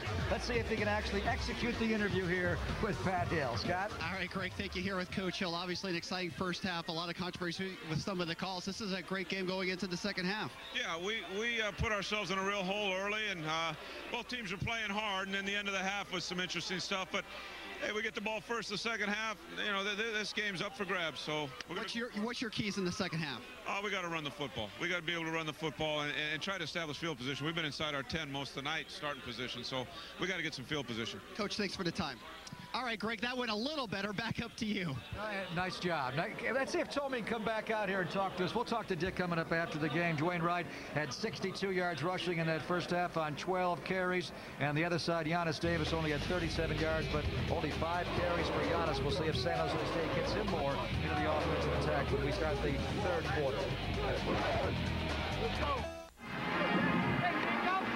Adam rushed for 53 yards in the first half. He was actually San Jose State's leading rusher. Yonus Davis only five carries for 37 yards. Tafralis with three touchdown passes. Dick Tomey is still steaming, and I think rightfully so with Frank White, the referee. And I think Coach's point would be that the umpire, Steve Colder, I think he walked right past the center and kind of delayed San Jose State for a beat or two and forced them to spike the ball as time had already expired. That official is supposed to set the ball and get out of the way when they wind the clock. But again, Tafralis was also yelling at Pacinger, get over the ball, we got to snap it, got to get down the quarterback almost always knows game position, time of clock, all those things and how to manage the game. Offensive linemen sometimes don't understand where you're at in the game. You need to get your center down because it didn't matter who was blocking who on that play. He was just going to spike the ball. So Tafralis needed to communicate that to Pacinger, get him over the ball and get that snap up. Yonus Davis, we'll see if he's more involved in the second half. But keep in mind, San Jose State eschewed a field goal attempt in the first half. Went forward on fourth down with the kicker, Strubeck, who will kick off here, throwing forward. And then they did not get the late uh, field goal attempt up. That's potential six points they left on the table in the first half. It'll be a touchback here for Strubeck. He picks up his ninth touchback of the season, the sophomore kicker. It was followed up his very strong freshman year of last year with a very good second year here in San Jose as West takes the knee and uh, Joe Fernandez. And here comes Fresno State. They did win the uh, flip to open the game, but they have deferred to the second half. So Tom Brandstater, the quarterback who was 7 of 12, 52 yards. He threw a interception on the game's first play for Fresno State. And he will pick it up here in the second half. It was 21-14 as we start the third quarter in San Jose. Brandstater out of the shotgun as Dwayne Wright to his right. Play action in the rollout. And a catch and drop. West had the ball and dropped it. Chastin West. Right in the sun, though, as you can see that. It was in between the shade and the sun line, right where they meet over there. And I think right as he came into the sun, that ball hit him in the hands, but he lost sight of it you know, Fresno State has to feel like they kind of got away with something there going into half. But it's really a big motivating factor for the Spartans going in there. They go in upset about what happened. They can come out fired up in the second half because of it. Second and 10. And off to right. And meeting him in the hole is DeMaja Jones, the rover. He knew where he was going, and he got there and made a nice play. Well, you heard Pat Hill talk to Scott saying the key to the game is going to be us running the football, and that is on the shoulders of Dwayne Wright here. Well, and that offensive line is going to have to clear some holes up front. DeMaja Jones having a nice game so far defensively for the Spartans, making a bunch of big plays today. He's a very fast linebacker. The senior playing his last game out of San Diego's famed Helix High School where Bill Walton uh, first put it on the map and now Alex Smith and Reggie Bush have made us all know Helix. Third down and 12 for Brandstater. Spartans rush four over the middle caught by Fernandez for a Fresno State first down. Tackled by Castelo the middle linebacker. That's a pickup of 22 yards on third down very nice composure by Brandstater in there and that just sitting in the pocket, stepping up to deliver a strike downfield. You see he's going to get a lot of pressure up off the outside. These guys are going to come and form the pocket. He's just going to step up into the pocket and deliver a strike. That's what you have to do as a quarterback. Be able to maintain composure, keep your vision downfield, remain a passer. First and 10 for Fresno State on their 40-yard line. to right. And again gets hit right at the line of scrimmage. And not much there at all for Dwayne Wright was playing his final collegiate game. He announced last week before the Louisiana Tech game, Mike, that he is going to forego his senior year. He's going to make himself available for the NFL draft in April. And he figures to be a first day draft pick in the National Football League, either a first, second, or third round pick. Well, and always a couple considerations. Obviously, he has a family now with two children. But also, it's hard to be a running back and not get injured. You're getting hit all the time. You think about all the horror stories of guys that have been getting injured. If you're going to be a top guy, you might as well take it. Big hole for Wright.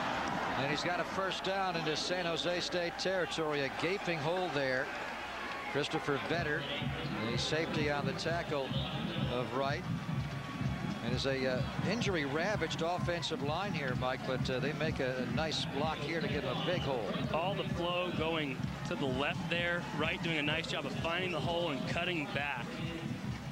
Adam McDowell playing that right guard position actually a converted defensive lineman playing over there. Did a nice job washing across that hole. And they've got a couple of former defenders that have moved over to the O-line. Anthony or Kenny Avon, the left tackle, also playing on the O-line as they run Anthony Harding here, giving a Wright a break. Castelo on the tackle for San Jose State.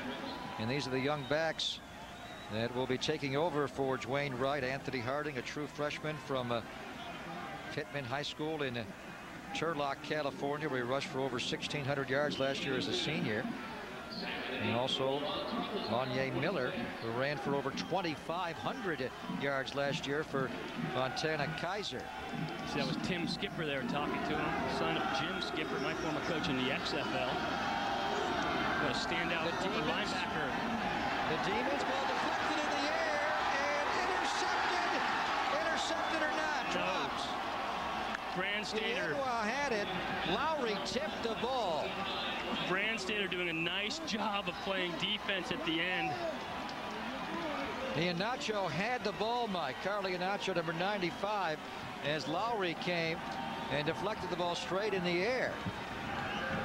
Good job by Dwight Lowery getting up in the quarterback space and watch Ihenacho come along. He has it, and Brandstater getting up there and swatting it out at the last second pulled him down, pulled his arm down. Yeah. Nice play by the quarterback. Play by Lowery, quarterback. Lowery trying to be involved in the game in some way, came at a blitz. They don't throw his way. He's a shutdown corner here. Third down and eight for Fresno State. Here's a blitz and a catch and a first down for Fresno State inside the 40-yard line. Shea, uh, Jade Atua on the uh, Tutu on the uh, catch and run for Fresno State just taking advantage of that zone, the holes in the zone outside. Ajirotutu just sitting down out there, catching a little what they used to call a smash route. Trying to get the extra yards afterwards. That's what Fresno State has to do. Run the ball hard inside, take the little stuff off the outside, and then go for the big one once you've softened up that Spartan defense. They came in a couple of uh, blitzers there that time, Mike, and they lost their footing trying to get to Brandstater. There's Wright again, getting into the second level. And he runs out for a first down across the 30-yard line. Better on the tackle of Dwayne Wright.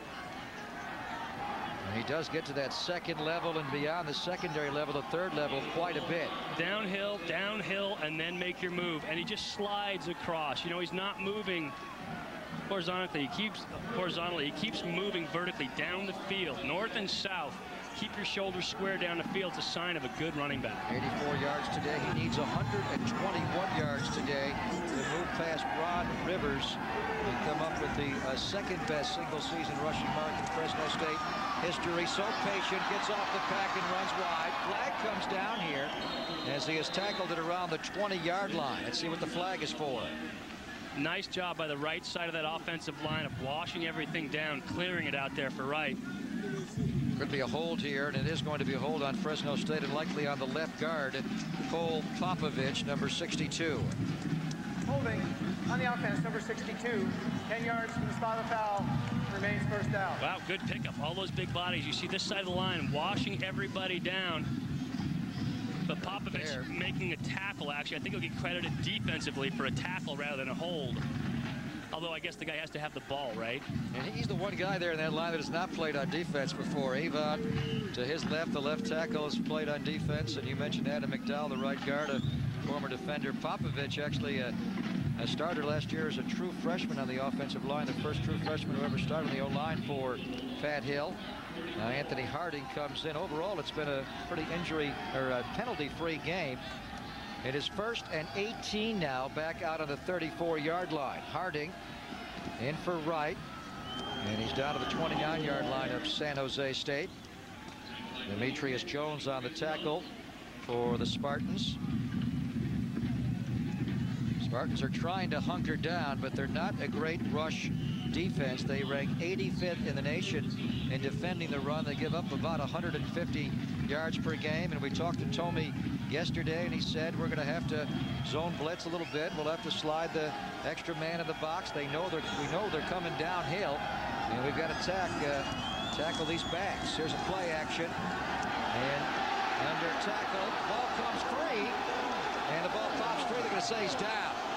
He is down. A sack for Ihenacho again. Carl Ihenacho on the sack as Brandstater almost fumbled that ball away. Well, they were trying to go for the big strike. Brandstater was forced to hold the ball for longer. They were trying to throw an out and up, a wheel and up by the inside receiver. Little play action, and they have the receivers on the outside. The outside man is running the go. The inside man is running the out and up. So Brandstater forced to hold on to it, really trying to throw that ball away at the end. Could have been ruled intentional grounding. It was not going to be a fumble. And it would have been an illegal forward pass had they called that, which would have been a loss of down. They don't turn it over very much, Fresno State. Just 17 times in total, only five fumbles all year. Third down and 16 for Brandstater. It is caught by Fernandez well shy of the first down. And they'll likely bring in the punt team. Matt Castelo on the tackle. Third and 16, that doesn't help very much. Now there's the punter, Zimmerman. It'd be 47-yard field goal, 48-yard yeah, they're going for a field goal. They're not going to bring in Zimmerman. They're going for a long field goal here by Stitzer. His long this year is 43 yards. He made a 44-yarder last year as a sophomore. This would be 48 yards away. Well, their punt team, as I said earlier, has not been very efficient this year. You might as well go for the field goal, try to get some points on the board. Yeah, he's got the distance. And it's no good, though. Wide to the right. So no good for Stitzer from 48 yards away. And that'll give San Jose State a good drive start. On the missed long field goal. 8.41 to play. Boy, Dick Tomey's defense was on the field for a long time there. That was the opening drive of the second half. Yeah. Dick Tomey Spartans playing their final regular season game, and it's out of the bowl game, and you'll be hearing and reading a lot about the inaugural New Mexico Bowl. For more on that, we head downstairs to Scott Marsh. All right, Greg, thank you. Here with Dan Ballou, who is representing the New Mexico Bowl. Welcome to San Jose. Talk about how this bowl got started. Well, the bowl, believe it or not, got started when ESPN came to the city of Albuquerque in February of this year. Said, hey, let's put together a bowl game where we can feature a Mountain West opponent versus a Western Athletic Conference opponent. So we did that, got our bowl certification, went through all the proper channels with the NCAA, and we're fired up about having San Jose State in Albuquerque later this month. Yeah, obviously having Dick Tomey as a part of the Spartan team means a lot to the bowl. Yes, it does. With the uh, with the weight he carries in college football at this level, uh, it certainly does not hurt to have him in our bowl game. And we're extremely delighted that uh, San Jose State accepted our invitation and that they're coming to Albuquerque. Well, Dan, I know you're you're here through the weekend. Enjoy your stay, and we'll look forward to seeing you later in the month. Very good. Thank you very much. Look forward to having all you uh, San Jose people down in Albuquerque. Thank you very much. All right, Greg, let's go back up to you. And I've been to Albuquerque several times, a great uh, city, and they'll be up against the host school, New Mexico, on December the 23rd. This will be the first time they've ever played a bowl game outside of the state of California. And Albuquerque, great this time of year. Second and 10. And that ball's intercepted. He was trying to get it into Coleman, and it was intercepted by the linebacker Goodwin, who came up with the fumble return for a score earlier. So his second big play on defense. Goodwin again in the perfect spot at the perfect time. See Arroyo not very happy trying to coach up his quarterback. Clearly a misread by his quarterback to Tafralis looking down the field, came back to the short side to his check down, and Goodwin was actually in better position to make that play than Chester Coleman. Another big turnover committed by San Jose State. Now the fumble earlier by Patrick Perry, and we'll get into this more when San Jose State gets the football back, but Yonus Davis has not been uh, much of a factor. In fact, you, you, may make the point he's being benched here. I'm not sure if anything is wrong with him physically, but Perry is taking over. Here's Dwayne Wright for Fresno State, again shedding the first wave of tacklers and uh, pecking and hemming his way forward for about four yards.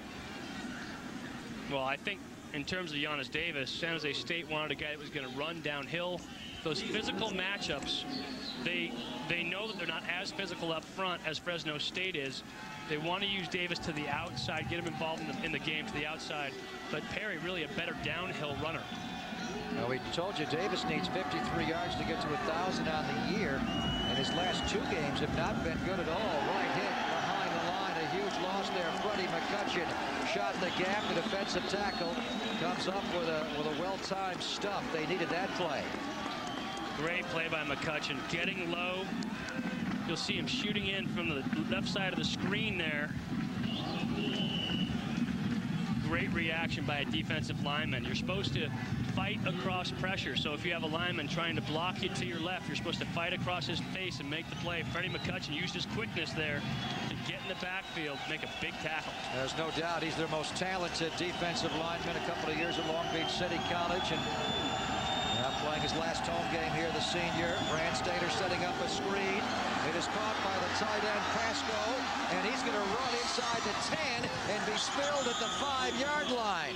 Lowery saves the touchdown. A 27-yard tight end screen to Bear Pascoe. Absolutely nobody home on that left side. All flow going this direction. You see Brandstater looking that way, coming back with the screen.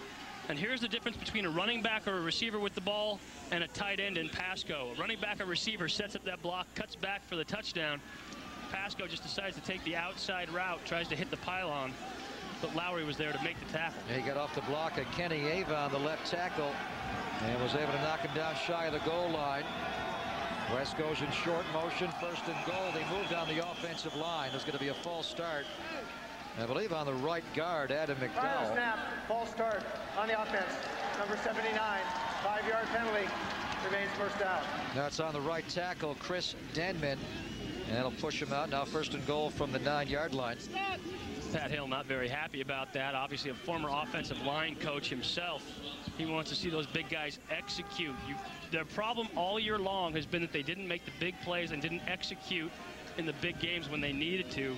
He doesn't want to see them set themselves back now that they're down in the red zone. Now, he was the offensive line coach under the great Jim Sweeney in Fresno from 84 through 89. He also coached, uh, coached the O-line for Dick Tomey and was his offensive coordinator in Arizona. Brandstater on the roll will throw for the end zone. Intercepted! Castelo with a touchdown-saving pick on the goal line. And that is exactly why Pat Hill was unhappy with his offense offensive line. You set yourself back. You change what your thinking is. You go from running the ball three times, going for the goal line, to having to run the play action pass. That penalty set up the interception.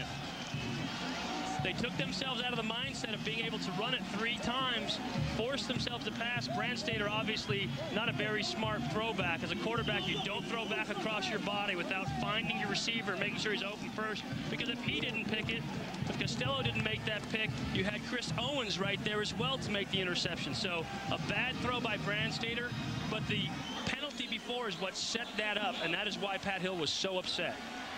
A big penalty on Denman and the forced ball by Brandstater. And it is Perry who was the featured back here for San Jose State, not Yonus Davis. Alan Goodwin having a terrific game for Fresno State. Comes up with the tackle on Perry, who's a sophomore. And as Mike noted, he's more of a, of a downhill runner at 5'10", 205, as opposed to Yonus Davis, who goes only a buck 80. But Yonus Davis came into the game today 53 yards away from getting to a 1,000 on the year. Maybe he's injured. We shall see. Here's to Frellis. Will keep it again on the option. Boy, he's kept it perfectly today, Mike, making good decisions not to pitch and turning it uh, upfield and picking up some runs. Well, that's film work. You know that the coaches for San Jose State saw weakness there by Fresno, the way that they pursue, knowing that their linebackers are so active, they knew that hole would be there. And so Frellis said he's going to run up, get that hole, take advantage of it. That was a weakness. They decided they were going to exploit it in their game plan, and now they're doing it to perfection. Now we have checked with Scott Marsh on the San Jose State sideline. Uh, maybe uh, Yonus Davis had a hip injury of some kind, but he says there is no injury to report. First and 10, 26-yard line. There's Perry in the right flat, and he fumbles the ball and got back on it. Recovered his own fumble at the 31-yard line. It was Perry that fumbled the ball up in the air. That was taken by Goodwin back 28 yards for a score. Josh Shirley, the safety and second leading tackler for Fresno State, forced that ball out. Perry keeps doing that, I guarantee you he won't be the featured back for very long. You want to make sure that you have ball security back there. Patrick Perry needs to hold on to that ball. He lost one going to the left earlier. He just fumbled that one going to his right. Frellis doing it with both his arm and his legs today as Davis looks out. And the reason we thought maybe it was a hip injury is his pants undone. Pants undone, the gloves tucked in the back. Doesn't seem like a guy is healthy. We shall see. Second down, quick throw out Chester Coleman. And a nice play by McCauley. Who, if this is going to be his last game, he is a senior, so it will be his last game at Fresno State. He's going out with a bang. Guy who had a terrific junior year. And he's had a bit of a rough senior season, although that's not for guys that are going to play at the next level, sometimes that, that does happen where guys get a little distracted knowing they're going to the NFL and they don't come back with the same focus their senior years they did their junior year. Well, and that's part of it too. Coming back as a senior, having too much confidence going in. Steve, if teams start to pick on you, corner, you have to have the thickest skin of any position on the field because you're gonna get beat. Third and two play action. Goodwin a blitz, and he hits to Frellis. What a game Alan Goodwin is having. Fumble recovery for score, and interception, and now he comes in unblocked on the blitz and right into Frellis on the rollout. And he was coming all the way off that side. Tafralis has to know that he's coming. If you stay in the play, be able to get rid of that ball in a hurry, and he just wasn't ready quick enough to get rid of that football. That is all about the pre-snap read. As a quarterback, you have to know that he's coming, be able to react. Joe Fernandez back to return the punt of Waylon Prather. It'll bounce directly out of bounds at the 32-yard line of Fresno State. Only a 34-yard punt from Prather. So Frallis talking it over with his quarterback coach, Marcus Arroyo, trying to get the momentum back here in the second half. To begin your Radisson experience, 916-920-2020. And there is Yonus Davis. We just got the update from Lawrence Fan, the SID here at San Jose State. He actually does have a strained groin. So you're right, Greg. He was limping around on the sidelines down there, and his pants undone. Obviously not going to be back in the game. There's Wright on the handoff on first and 10. Again, shedding the first wave. This guy gets into the second and third level, I think, more than any back I've seen. Does not have the breakaway speed because of the knee injury a couple of years ago. That may come back as a pro. But another Nice little rip off there by Wright as he goes for 13 yards. And a great job. Look at the big guys up front clearing it out. Getting a nice push to that right side and then Wright figuring out where the hole is, finding it, having enough patience to let that hole develop in front of him and taking advantage of it. He is one yard away from another 100-yard rushing day. Dwayne Wright out of uh, San Diego, and he's over 100 now. On the first down carry, he is from Lincoln High School in San Diego, the same school that produced uh, the Hall of Famer Marcus Allen and a potential Hall of Famer in Terrell Davis. Speaking of Hall of Famers, Lawrence Fan, when he said he uh, had a groin injury, Yonus Davis, is he able to come back in the game? Do we? He did not say whether he's going to come back, but obviously with the pants undone and the gloves tucked in, he's walking around like he's not going to see any more action. Well, the way he's laying back, so that would end, end his year. Although the, the, the, the, stats do get carried over to the bowl game, so he could go over a thousand yards in the New Mexico Bowl. Running out to midfield on a second down and eight, so it'll be third down at about five. Coming up for Fresno State, Matt Castelo, Mike, as you mentioned, fifth leading tackler in the nation, and he comes up with another one. Dwayne Wright taking himself out, getting a little breather here. He has now 102 yards on the day, so he needs 19 more to pass Ron Rivers to get to second most in a, a single season. We'll have more on those numbers as he gets closer. Third down and five. Big play coming up for the Bulldogs from midfield. He looked left, now middle, now pressure, throws, caught by Pascoe, but shy of the first down. As he's tackled by three Spartans, will signal out Castelo. And now it's fourth down with about three coming up for Fresno State. Just a big bunch route out there for Fresno State, and Brandstater trying to pump. Pascoe had to follow him back downhill. 21-14 as we head to the fourth quarter here. Two old-time rivals. 21-14 Spartans over the Bulldogs. Touchback. You've got Trent Dilfer with the uh, 49ers and obviously Billy Volek, formerly with the Titans, now playing with the uh, San Diego Chargers, backing up Philip Rivers. So Tafralis, Mike, and the uh, Spartans will try to, to get going a bit here. They've not had any offensive rhythm in the second half. Well, Tafralis has to get something going. You saw Marcus Arroyo talking to him, his quarterback coach on the sideline, telling him, make the right read, make the right delivery. He just has to execute in there as a quarterback, manage the game, use the running game off the outside. They got Jabri Sharp in there again as that fullback in the backfield, so you can look for him to run that ball downhill. Big junior out of uh, Oakland Skyline High School is, they're hoping they moved on the offensive line because they all jumped. Marlon Briscoe, the defensive end. And that was not magic the way he came across the line. He really did. Here's Frank White, our referee. All right, snap. Offside on the defense, number 94. Five-yard penalty. No first out. Now Briscoe jumped, so did uh, John Manga, and they single out 94 Manga. You're too young to remember Marlon the Magician Briscoe, aren't you? I am. Never heard of him? But thank you for asking. Former uh, great first quarterback, and uh, they moved him African-American, gave him a chance to play quarterback, and they moved him to wide receiver in the NFL with the uh, the Broncos and the Bills, and later wound up with the the Dolphins of the mid-70s. Tafralis here, just two for four since halftime, for just eight yards plus the interception. They have to go their lead back Davis. So Perry, or is that Callier? I think that was James Callier, the fullback. Certainly downhill type runner, able to power forward and run for a San Jose State first down. Well, they got the freebie from Fresno State on that offsides penalty again. Fresno State, a little bit of self-destructing going on here.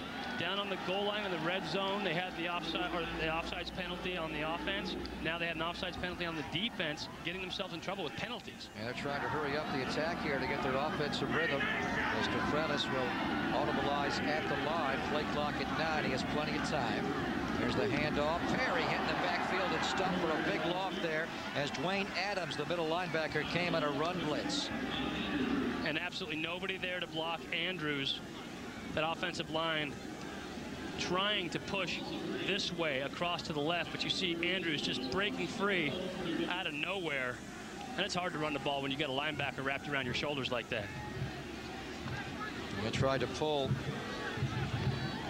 Marcel Burrow, who is now playing in on the offensive line for San Jose State. Second down and 13 coming up for the Spartans. And a scoreless third quarter to Fralis. And it is caught by Jones, but he runs for a first down. McCauley went for the interception and the pick six the other way. He missed the ball, and Jones picks up the first down. McCauley actually in position to make the play. He ended up slipping on his last plant step.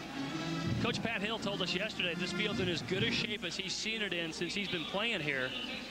But there's been a lot of guys slipping out there tonight. Well, McCauley had that one. He was right there on it, and it was going it. the other way had he not slipped. He read it. How about James Jones coming up with some clutch catches tonight? Now, he's had a big game, Jones. Five catches for 76 yards. Fralis on first down, going to run. Sees an opening off the right side. Lane will tackle him, and he gets popped hard, shy of the first down. Lane and Andrews, the two linebackers, with a tough tackle, but that's a tough quarterback Tafralis actually had a shot to throw that ball down the field, but a pretty heads-up play by a quarterback. Don't take a risky shot. If you got green grass in front of you, take it. Try to move the sticks. You know, get you into second and short here. And Andrews trying to deliver a little extra love there at the end of the run. Tafralis came into the game with 118 yards rushing all year. And he has rushed today for 68 yards. He is San Jose State's top rusher today. 6'2", 215-pound quarterback. Second down and two. That's caught by Coleman for a first down. Pushed out by McCauley at the Fresno State 32-yard line.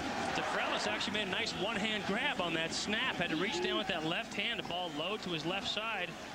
Did a good job of getting that ball centered back up, fingers on the laces, and throwing a tight spiral out there. Good delivery. 16 yards to Coleman, who was having a good game himself. Coleman only 14 catches all year, Mike. He's got five catches today. Yeah, Broussard and James Jones really been the go-to guys, the number three guy all year long, Chester Coleman, but having a very nice day, as you said, Greg. And he's winding up his career. Senior from Compton. There's the handoff to Callier on the dive. Not a lot there as they fake the pitch to the freshman, Cameron Island. We had a wild first half, uh, wild ebb and flow. San Jose State, three and a half minutes into the game, had two touchdowns and led 14 nothing. Fresno State came back, got a defensive touchdown to tie the game at 14. San Jose State scored on a fourth and two. They went for it and went for the whole thing. A touchdown pass to James Jones to go up at halftime. But in the third quarter, this game has slowed down, and neither team has been able to do a whole lot offensively. San Jose State is driven from their 20-yard line here inside the Bulldog 35. Second and nine. To Fralis. I think he wants to run again. He gets a block and he goes down the outside. And he stays on his feet, and he's very close to another first down. Up play. Did you see him look at the sidelines and think, I've got to keep this clock running. I'm not going out of bounds. Stay in bounds. Keep it moving. Matt Cantu, the left tackle, with a nice block, allowed him to get the corner. But watch him. Okay, nobody there. Don't make a risky pass. He's going to run with this ball. Cantu just burying somebody on the outside. But he cuts back away from the sideline. Headsy play by a quarterback who's really confidence-wise picked up this season. And you see there the leadership. Stay in bounds. Keep the clock running.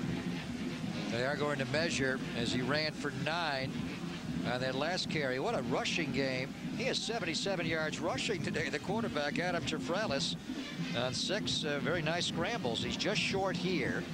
No, it's third down and about a foot. Pat Hill encouraging his defense to hunker down here and get the ball back. I would expect to see Dick Tomey go for the end zone right here. Take a shot. You got second and very, very short. It's third down. Excuse me, third and short. So get the first down and keep the clock moving. Well, you got fourth down as well. No one told me he may take a shot here. Let's see what Little they play do. action inside. Jabri Sharp in the game again at that fullback position third and long, third and one, and go deep here and don't come up with a field goal would be 42 yards away. Strubeck has made a, a 48 yarder this year against New Mexico State. Let's see what they do. They're going to bring in Sharp, as you mentioned. Mike can go with a heavy set, big fullback guard in the backfield ahead of Patrick Perry. Solid outside. Broussard one on one matching up with Damon Jenkins.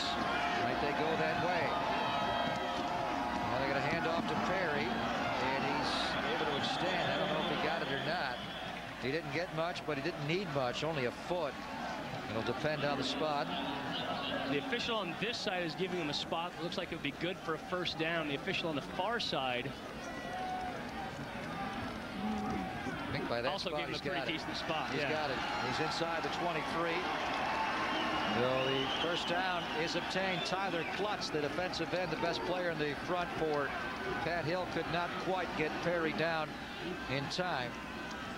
Now Patrick Perry, the sophomore out of Banning High School in Los Angeles, taking over for the injured Yonus Davis. We thought Mike would like to see this. Boy, a little closer than many people thought. Nate Longshore throws for 217, and your Bears make it five in a row. I thought it was going to be a slaughter out there today, but obviously in the big game, anything can happen. They are going to confirm with the measurement here called by Pat Hill or asked for, and they do pick up the, the first down. It's not a Cardinal tie you're wearing today, Mike, is it? No, it's not. I'm trying to be impartial in our game. It's Greg. not blue, nor is it gold. It is not blue or gold. Yeah, it looks looks red to me. It is a shade in that direction, but it is not cardinal. Thank you for noticing, though. Just a, you look Do you sharp. like the tie? You look, I like it very much. Thank you. Just little And my wife gave me trouble for confused it. why you I, wear that today. When I left the house, my wife gave me trouble because she is also Same a thing. Cal alum. Same thing. Now here's the pitch. Perry cuts inside. Runs right up the uh, block of McGriff. Bradis McGriff, the right tackle. But Goodwin makes the eventual tackle, but Perry on the pitch that time.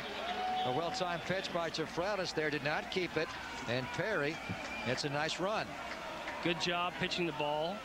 Watch McGriff out in front here. Come on, big man. Get out of my way. And he went to Those big Arizona. guys. Sorry about that, Greg. Those big guys are just lost out there in space. They never know what to do. They got to get their hands on somebody. He went to ASU, actually, in 04, redshirted there, never played for the Sun Devils. His dad, Bradis, uh, same name, was a football player at Tennessee State. There's Callier, James T. Callier, the older of the two half-brothers. He's a junior, his younger brother, James, a, uh, a sophomore. Now, clock rolling here as we approach 10 minutes to play in the game. Sun beginning to set here on this December Saturday in the South Bay. Good crowd. Over 20,000 they're hoping to watch the Spartans wind up the home schedule. What a year it has been already. This game really is largely immaterial as far as the postseason. They're going to the bowl game in New Mexico, but they want to win this football game and they give these fans here a big celebration to beat the Bulldogs. Second down. There's Broussard going up for it, ball batted away, and no flag. As Damon Jenkins came over the top right at the right time, they say, and not early to knock that ball away from Broussard. Jenkins was in perfect position for that, but Tafralis has to put a little more on that. He kind of pulled the string on this ball. Didn't throw it as well as he should have. He had Broussard open downfield. Broussard had taken an inside release. If he throws it back to the back of the end zone, Broussard can lay out for it, but instead he let Jenkins react to it and make a play on it. And now it's third down. They're already in field goal range to go up by two scores. They go into an I formation with three wide receivers. Coleman and Broussard are slotted left. James Jones is right. Here's Perry. And he fights inside the 10. It'll be fourth down there. They'll bring in Jared Strubeck and try to go up by 10 points here with nine minutes to play.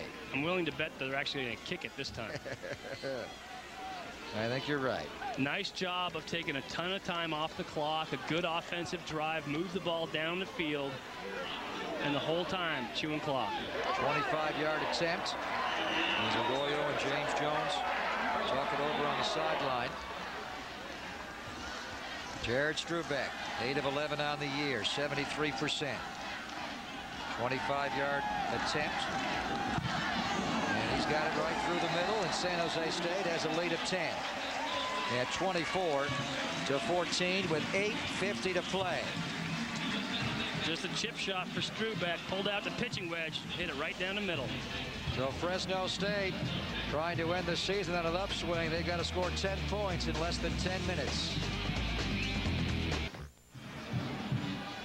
David Carr and the Houston Texans will be in town tomorrow to take on the Raiders in Oakland and to talk all about it and everything Raider related. Check out Raider Press Conference Live with Raider head coach Art Shell each and every Monday at 1 o'clock exclusively right here on uh, Comcast Sportsnet. Jim Kozimor and Mike Lang get you all set for the Raider head coach. David Carr and the Texans had never played in Oakland before.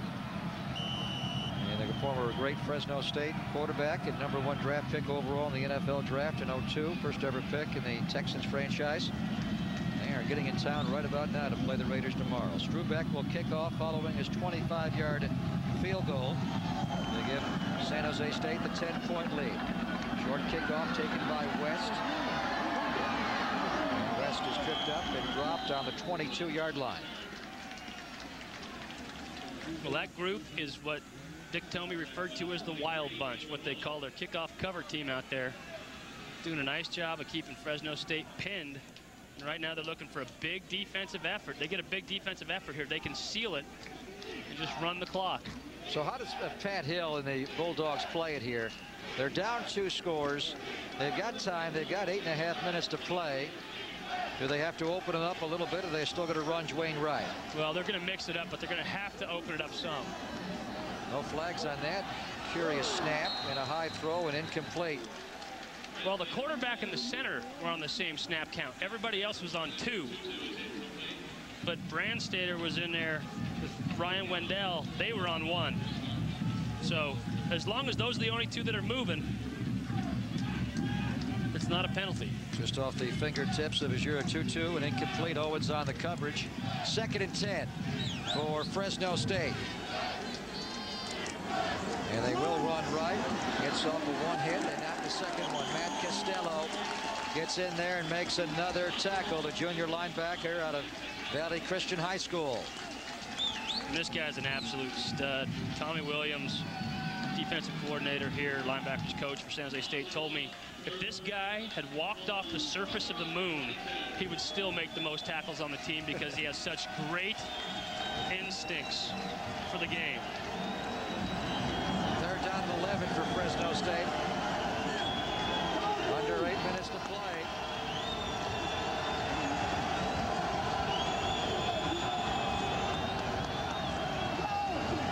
Brandstater, little high for Fernandez and broken up by Owens. Fourth down. And Owens, a great job of sitting out there on Fernandez. He broke down before Fernandez ever even got into his route. Brandstater ended up paying the price for it. Just a five-step drop. Two hitches, though. He got popped right in the chin there, Freddie McCutcheon. Well, he got hurt early in the year in the game against Oregon and injured his ribs on his right side, and he has not been healthy. For several weeks, he was not healthy, but now he is after being benched for a couple of games. Zimmerman in the punt again for Fresno State. Jones let it bounce on the 45-yard line. And it'll be down there. So San Jose State now 7 minutes and 28 seconds away from uh, beating the Fresno State Bulldogs. It's been 16 years since they've gone bowling, but it's been the same length of time since they've beaten Fresno.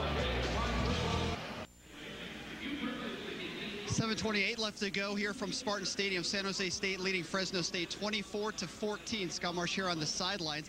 A lot of parallels with this 2006 San Jose State team with the 1990 team. First of all, the defense has given up their fewest points allowed since 1990 with a win today, eight victories, 1990. They had eight victories. And of course, the last time they went to a bowl game, you guessed it, 1990. And finally, Greg, 1990 also was the last time San Jose State beat Fresno State. So I think a song, I know you referenced the fabulous freshman, I believe, earlier in the game, or the fourth freshman from the 50s. Hadn't heard of that one, but maybe a new song for them could be Prince's They Want to Party Like It's 1990. Back up to you, Greg. Oh, very nicely done. As Patrick Perry takes it off the right side, Scott, on a first and 10. And they will party like it's 1990 if they get the win. Lane and uh, Damon Jenkins on the tackle for Perry, who was playing for the injured Yonus Davis, who's been out since the second quarter with a groin injury. He has not carried the ball at all, not played at all in the second half. And that 1990 squad here for San Jose State was a very good team. Guys like Hesh Kalar on the team, Mike Shalava, their quarterback Matt Veatch. They had Sheldon Canley, some really good running backs. They went 9 2 and 1 that year. There's Fralis. Get a pitch to Perry. Tries to get wide. Able to turn the corner. He slips down shy of the first down. It'll be third down at about two coming up for the Spartans. Broussard actually had a nice block out there on McCauley. Had Patrick Perry been able to turn upfield, that's where that man excels. Yonus Davis, he actually has the ability to make that quick cut upfield. A little bit smaller guy, lower center of gravity, can make those kind of cuts. Perry, a better inside runner. Here's a big play coming up for San Jose State. We have less than six minutes to play in the game. They are six of 11 on third down. This is third down and three. Tafralis will throw. And he's going to get sacked, spun down. Second time today. They get in there and sack him. John Manga on the sack for Fresno State. They had to come up with that play. And it's fourth down. And that makes 29 sacks on the year for that Fresno State defense. They were number three in the WAC coming into the game. They will bring in the uh, punter Prather here. Needs a big one. Joe Fernandez in his final collegiate game. He's son of the uh, great Swervin Mervin Fernandez who played at San Jose State in the early 80s before going out of the NFL with the Raiders. The Spartans will take the delay of game penalty here. Chew as much time off the clock as possible. Play clock at three, two, one, and they'll take the five yards here and take the clock down to 4.53 to play in the game. For the snap, delay of game, offense, five-yard penalty, remains fourth down. You know, Dick Tomey needs a big punt here from Waylon Prather, a guy who uh, he referred to yesterday as the best punter I have ever been around. Averaging 44 yards a kick, number one in the WAC all year and number 14 in the nation. Coach Tomey big on the kicking game over on the sideline. Got a stopwatch working right now. Isakovic with a good snap and Prather unloads one. Fernandez calling for a fair catch. Beautifully done. Broussard the gunner there to force the fair catch. A 44 yard punt with no return. He is pretty good isn't he? Well they have a four minutes and 44 seconds and they've got to score twice. 447 to play. We've been talking about 1990, first time since 1990 in a lot of categories, but with this crowd today, over 22,000 years, the first time since 86 that San Jose State has had three crowds of 20,000 or more. They almost had 30,000 here when uh, the Stanford Cardinal came in in week two. Brandstater and he hits Pascoe. Big bear over the middle. Goes the tight end for a first down. Let's go way back when, Mike. Little after 1 o'clock today. Remember the first play from scrimmage? San Jose State sending a message that they were going to go after it Back there when the sun was still on the grass, throwing a big post. Brandstater into trouble. Ball deflected up in the air, and it should have been intercepted. He was trying to go to Chastin West. Demaja Jones was there. That ball was deflected up in the air where Lowery, the ball hawk, was, but it hit the ground safely. Ball thrown behind West. You see this is on his back shoulder. Demaja Jones actually making the play, tipping it up. That's what you get when you have a linebacker trying to handle the ball. Jones actually converted safety. That would have been a game sealer for the Spartans right there. Senior walked down here in 03 and now playing his last collegiate game here at Spartan Stadium. Of course, they have the bowl game coming up two days before Christmas in Albuquerque. Second and 10 for Brandstater the middle in a double coverage. But again, that big tight end, Bear Pascoe, makes the catch and picks up the first down. What a target he is at 6'5", 260 pounds. Actually had the underneath receiver wide open with a little bit of running room, but forced it into Pascoe, and Pascoe able to use that big body to shield off the defenders and make the catch. Four minutes and 15 seconds to play. Fresno State is down 10. They've got to score twice. Brandstater caught and out of bounds goes the young receiver, Jason Crawley. He's a, another redshirt freshman from uh, Pittsburgh High School, where he played some quarterback himself. Actually took a snap under center this year for Fresno. We saw him with that big drop in the first half. But Brandstater just delivering the comeback on the outside. And good heads-up play by Crawley to get out of bounds and stop that clock. They did not get a great spot. They did not get the first down on that catch. Pat Hill's not happy with that, so it's second down and one. 4.04 to play. West moves in motion, followed by DeMaja Jones. San Jose State rushes forward. And it's good enough to get some pressure on him up the middle. And off the back foot, he throws incomplete. Jaron Gilbert got the heat. He was trying to go over the middle. Ajirotutu and West were in the area, but uh, Gilbert forced a bad throw. Incomplete, but very risky. If you're going to throw that ball away, don't throw it away over the middle. There's too many blue jerseys inside. Remember, they didn't get the first down yet. It was second and one. They got a bad spot. Now it's third down and one. See if they run the ball here. As Wright is to the right of a Brandstater. They will give it to him on the inside handoff. And he is tackled just across midfield. Good open field tackle there by Demetrius Jones. First down, Bulldogs. Under four minutes to play. And they are on the ball. They're getting into that hurry-up offensive mode.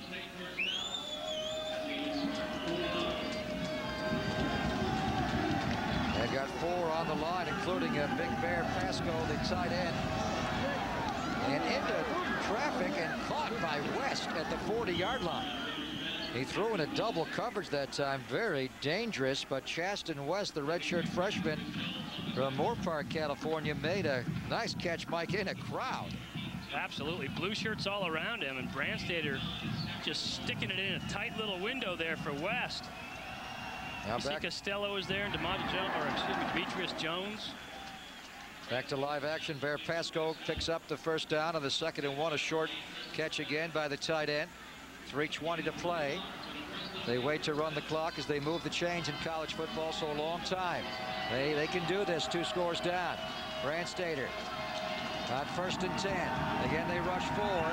He's throwing deep this time for Fernandez, intercepted by Owens. Christopher Owens with a second interception of the game. Tejan Fernandez with a jump ball inside the five, and Owens comes away with it. And a happy crowd here at Spartan Stadium. Brandstater just forcing that ball. Once again, Christopher Owens in perfect position downfield. He's looking back at the quarterback the whole way, and Brandstater never took his eyes off Fernandez. But look at the position. Owens in better position to make that play than Fernandez. Just forced it in.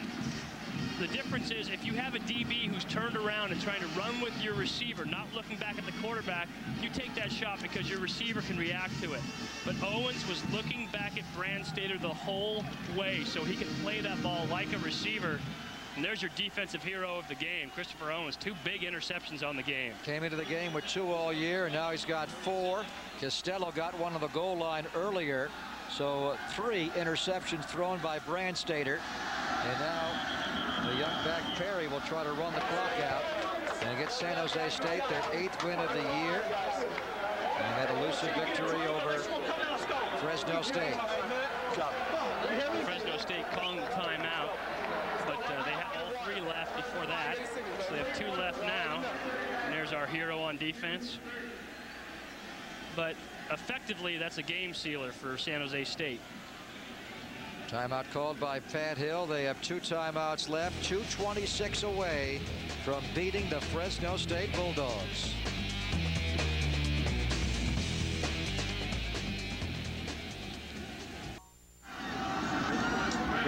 Mike Pawlawski, Scott Marsh back in San Jose.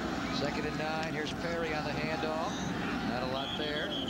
Stack it up in the middle. Marlon Briscoe, the defensive end, there to make the tackle along with Dwayne Andrew, Andrews. Final regular season game here, but make your plans to be with the Spartans coming up in three weeks' time when they take on uh, New Mexico in the inaugural New Mexico Bowl, December the 23rd, 1.30 kickoff. Be there 408-924-SJTX and online at sjsuspartans.com. Dick Tomey has his Spartans in a bowl game. Incredible, Mike. He took over a program here. And remember, he replaced Fitz Hill after the 2004 year. And there was some debate on this campus whether they would continue to play football anymore. We talked to Don Kassing at halftime, the president. He's such a, a big advocate of their athletic program. That's unlikely it would have happened. But there were some whispers on this campus with some members of the faculty to do away with football. And now, look at this. Two years later, they're going to a bowl game. Going to a bowl game, earning money on the bowl game, getting more fans in the stands here, just having incredible success. And what it does, too, outside of the monetary value, as a university, you want to enrich your students' lives. So the football players actually having it enriches their lives because they get the success of playing, but your students as well get to look back to the great days with your team winning while you were there. That's what a winning program brings to a university. They talk about diversity on campus all the time. Having a great athletic program is part of that diversity. And enhances the entire college experience without question. Here's a big play, third and eight with two and a half to play. Run the option. Tafralis will keep it. This time he will not run for a first down. Fresno State has one timeout left. Marlon Briscoe. Again, the magician comes up with a tackle. They'll take the timeout here and stop it with 2.20 to play. You don't think Fresno State's going to come after this kick, do you? You got seven block kicks on the year. Only one of those is the block punt, but they're known for blocking kicks. They have 70 block kicks overall since Pat Hill took over in 1997, which leads the NC2A. That's amazing. There's John Baxter, their special teams coach, so they're obviously going to go for a block. Yeah, since 97, they have 70 block kicks. That's amazing. It's an incredible stat. Well, Yonus Davis is done. It was a groin injury, was the report from Lawrence Fan, the sports information director here at San Jose State. Yonus Davis will wind up the regular year just slightly below a thousand on the year, but they'll get a chance to uh, pick up the grant as all the stats do carry over to the bowl game. Now here's Prather, great punter against Joe Fernandez, a great punt returner for Fresno State. It was taken over for Clifton Smith. Prather gets it away and bangs one. Fernandez fumbles it, picks it up, and now he breaks one tackle, a second tackle, but by fumbling it, a wave hit him. A 48-yard punt by Prather there at the end of the game. Al Guidry in on the eventual tackle for San Jose State. Great job getting that ball away by Prather. He knew they were coming, actually had to jump to field that snap but he didn't care. He just wanted to get that ball downfield. He actually outkicked his coverage. But when Fernandez bobbled it down there, it allowed San Jose State to get down in coverage. And now it makes it very difficult for Fresno State. It was already going to be a most difficult challenge for Tom Brandstater. They're going to start this drive inside their 10-yard line. Here's the pressure over the middle. Caught sliding catch by Fernandez. The Spartans saying trap, and now the officials say trap. No catch. Well, tough back-to-back -back plays for Fernandez. Fumbled the punt, and then came back now and didn't make this catch. That's a good yep, call. It's a good call by the official. Never had control of it, and the ball hit the ground. He had it, and then he went down to the ground. The nose of the ball hit the ground, and then it popped away. No catch. 156 to play. Second down for Tom Brandstater and the Bulldogs. Up against his goal line, he throws short to right. And he dives to get out of bounds, and he will stop the clock. Good he got off the tackle of Rhino Gonzalez just enough to lunge and hit the sideline like it was the goal line to stop the clock with 149 to play. Good heads-up play by Wright to get over to that sideline. You know, a lot of times the NFL scouts look for those kind of things in players. Do they think on their feet? These guys know game situations. Middle of the field right now is the most open spot you're going against prevent defense. Down the middle of the field is where you look because they don't want to let receivers get to the outside and stop the clock. Third and five. Over the middle they go. Caught Fernandez. Almost kept his feet, but he was knocked down on a double hit by Castelo and Toombs. Rakeem Toombs. We've not talked about him, but he's had a terrific year. The uh, senior safety. Didn't get to participate in spring ball, didn't get to participate in fall camp. They were working on some eligibility issues. Finally made it back to the team, had to catch up in a hurry, but has really solidified that defensive back. He's a big hitter. He leveled uh, Evan Moore to get the Stanford victory clinched, and he popped Joe Fernandez. He's not able to come out. Crawley with the catch. Clock rolling loud. Less than 90 seconds to play. And Toombs got up a little bit wobbly, too. Second down.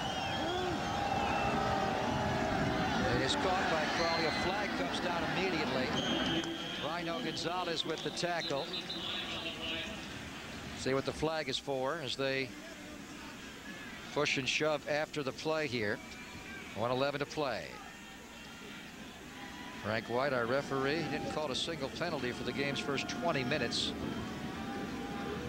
Interference on the offense. And that's going to be a pick route out there on the outside or a rub route by the receivers.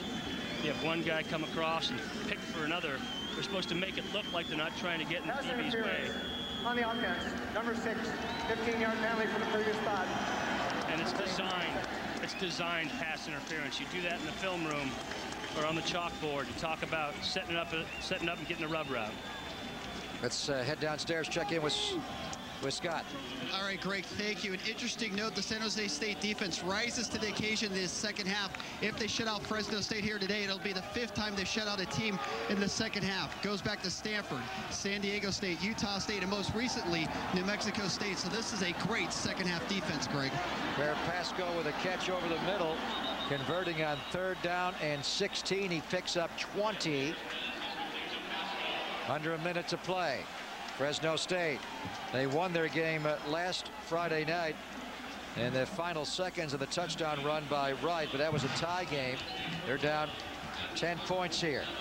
Pascoe, big game now, seven catches for 87 yards. Throw out left, almost picked up by DeMaja Jones. That's a second pick he's almost had today.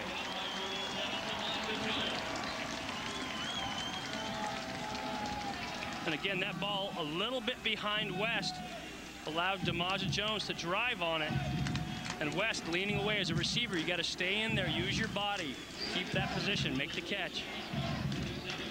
47 seconds away from making this a, a rivalry once again, as Dick Tomey said, you can't call it a rivalry.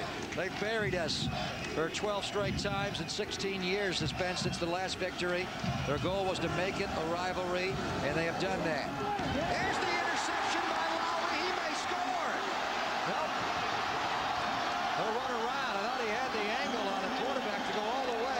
San Jose State single season record. Dwight Lowery with his ninth interception of the year, and that is the exclamation point. The Spartans are back. Nine picks, and they pretty much stopped throwing at him after the middle of the year. This guy has just been a great pickup for Coach Tomey and his defense. You see him in perfect position, great anticipation to come up and make that play. Coach Tomey told us yesterday, this guy has the best instincts around the football of any corner he's ever been around. That includes Daryl Lewis, who was a Jim Thorpe Award winner. Includes, includes Chris McAlister, first round draft pick. I mean, you're talking about some great corners that Coach Tomey has coached. And he said this guy is better than any of them around the ball. Out of timeouts and out of hope now and out of time. Fresno State is beaten by Dick Tomey and San Jose State for the first time since 1990. Pat Hill and uh, Dick very close as Dick had him on his staff at the University of Arizona in 1990 and 91. And as Scott said earlier, you can uh, cue Prince now. Look at a party here like it's 1990. All over again. What a huge win for the Spartans. Adam Tafralis with Brandstater. Brandstater threw four interceptions today.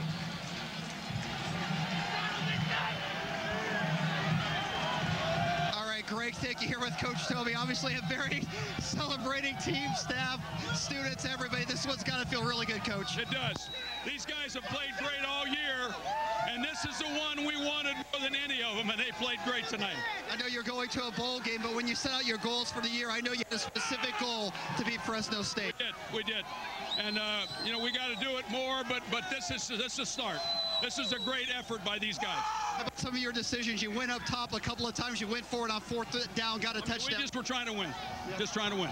And the defense held up scoreless again in the second half. The fifth time this season you've held an opponent scoreless in the second half. Well, we've done that a lot.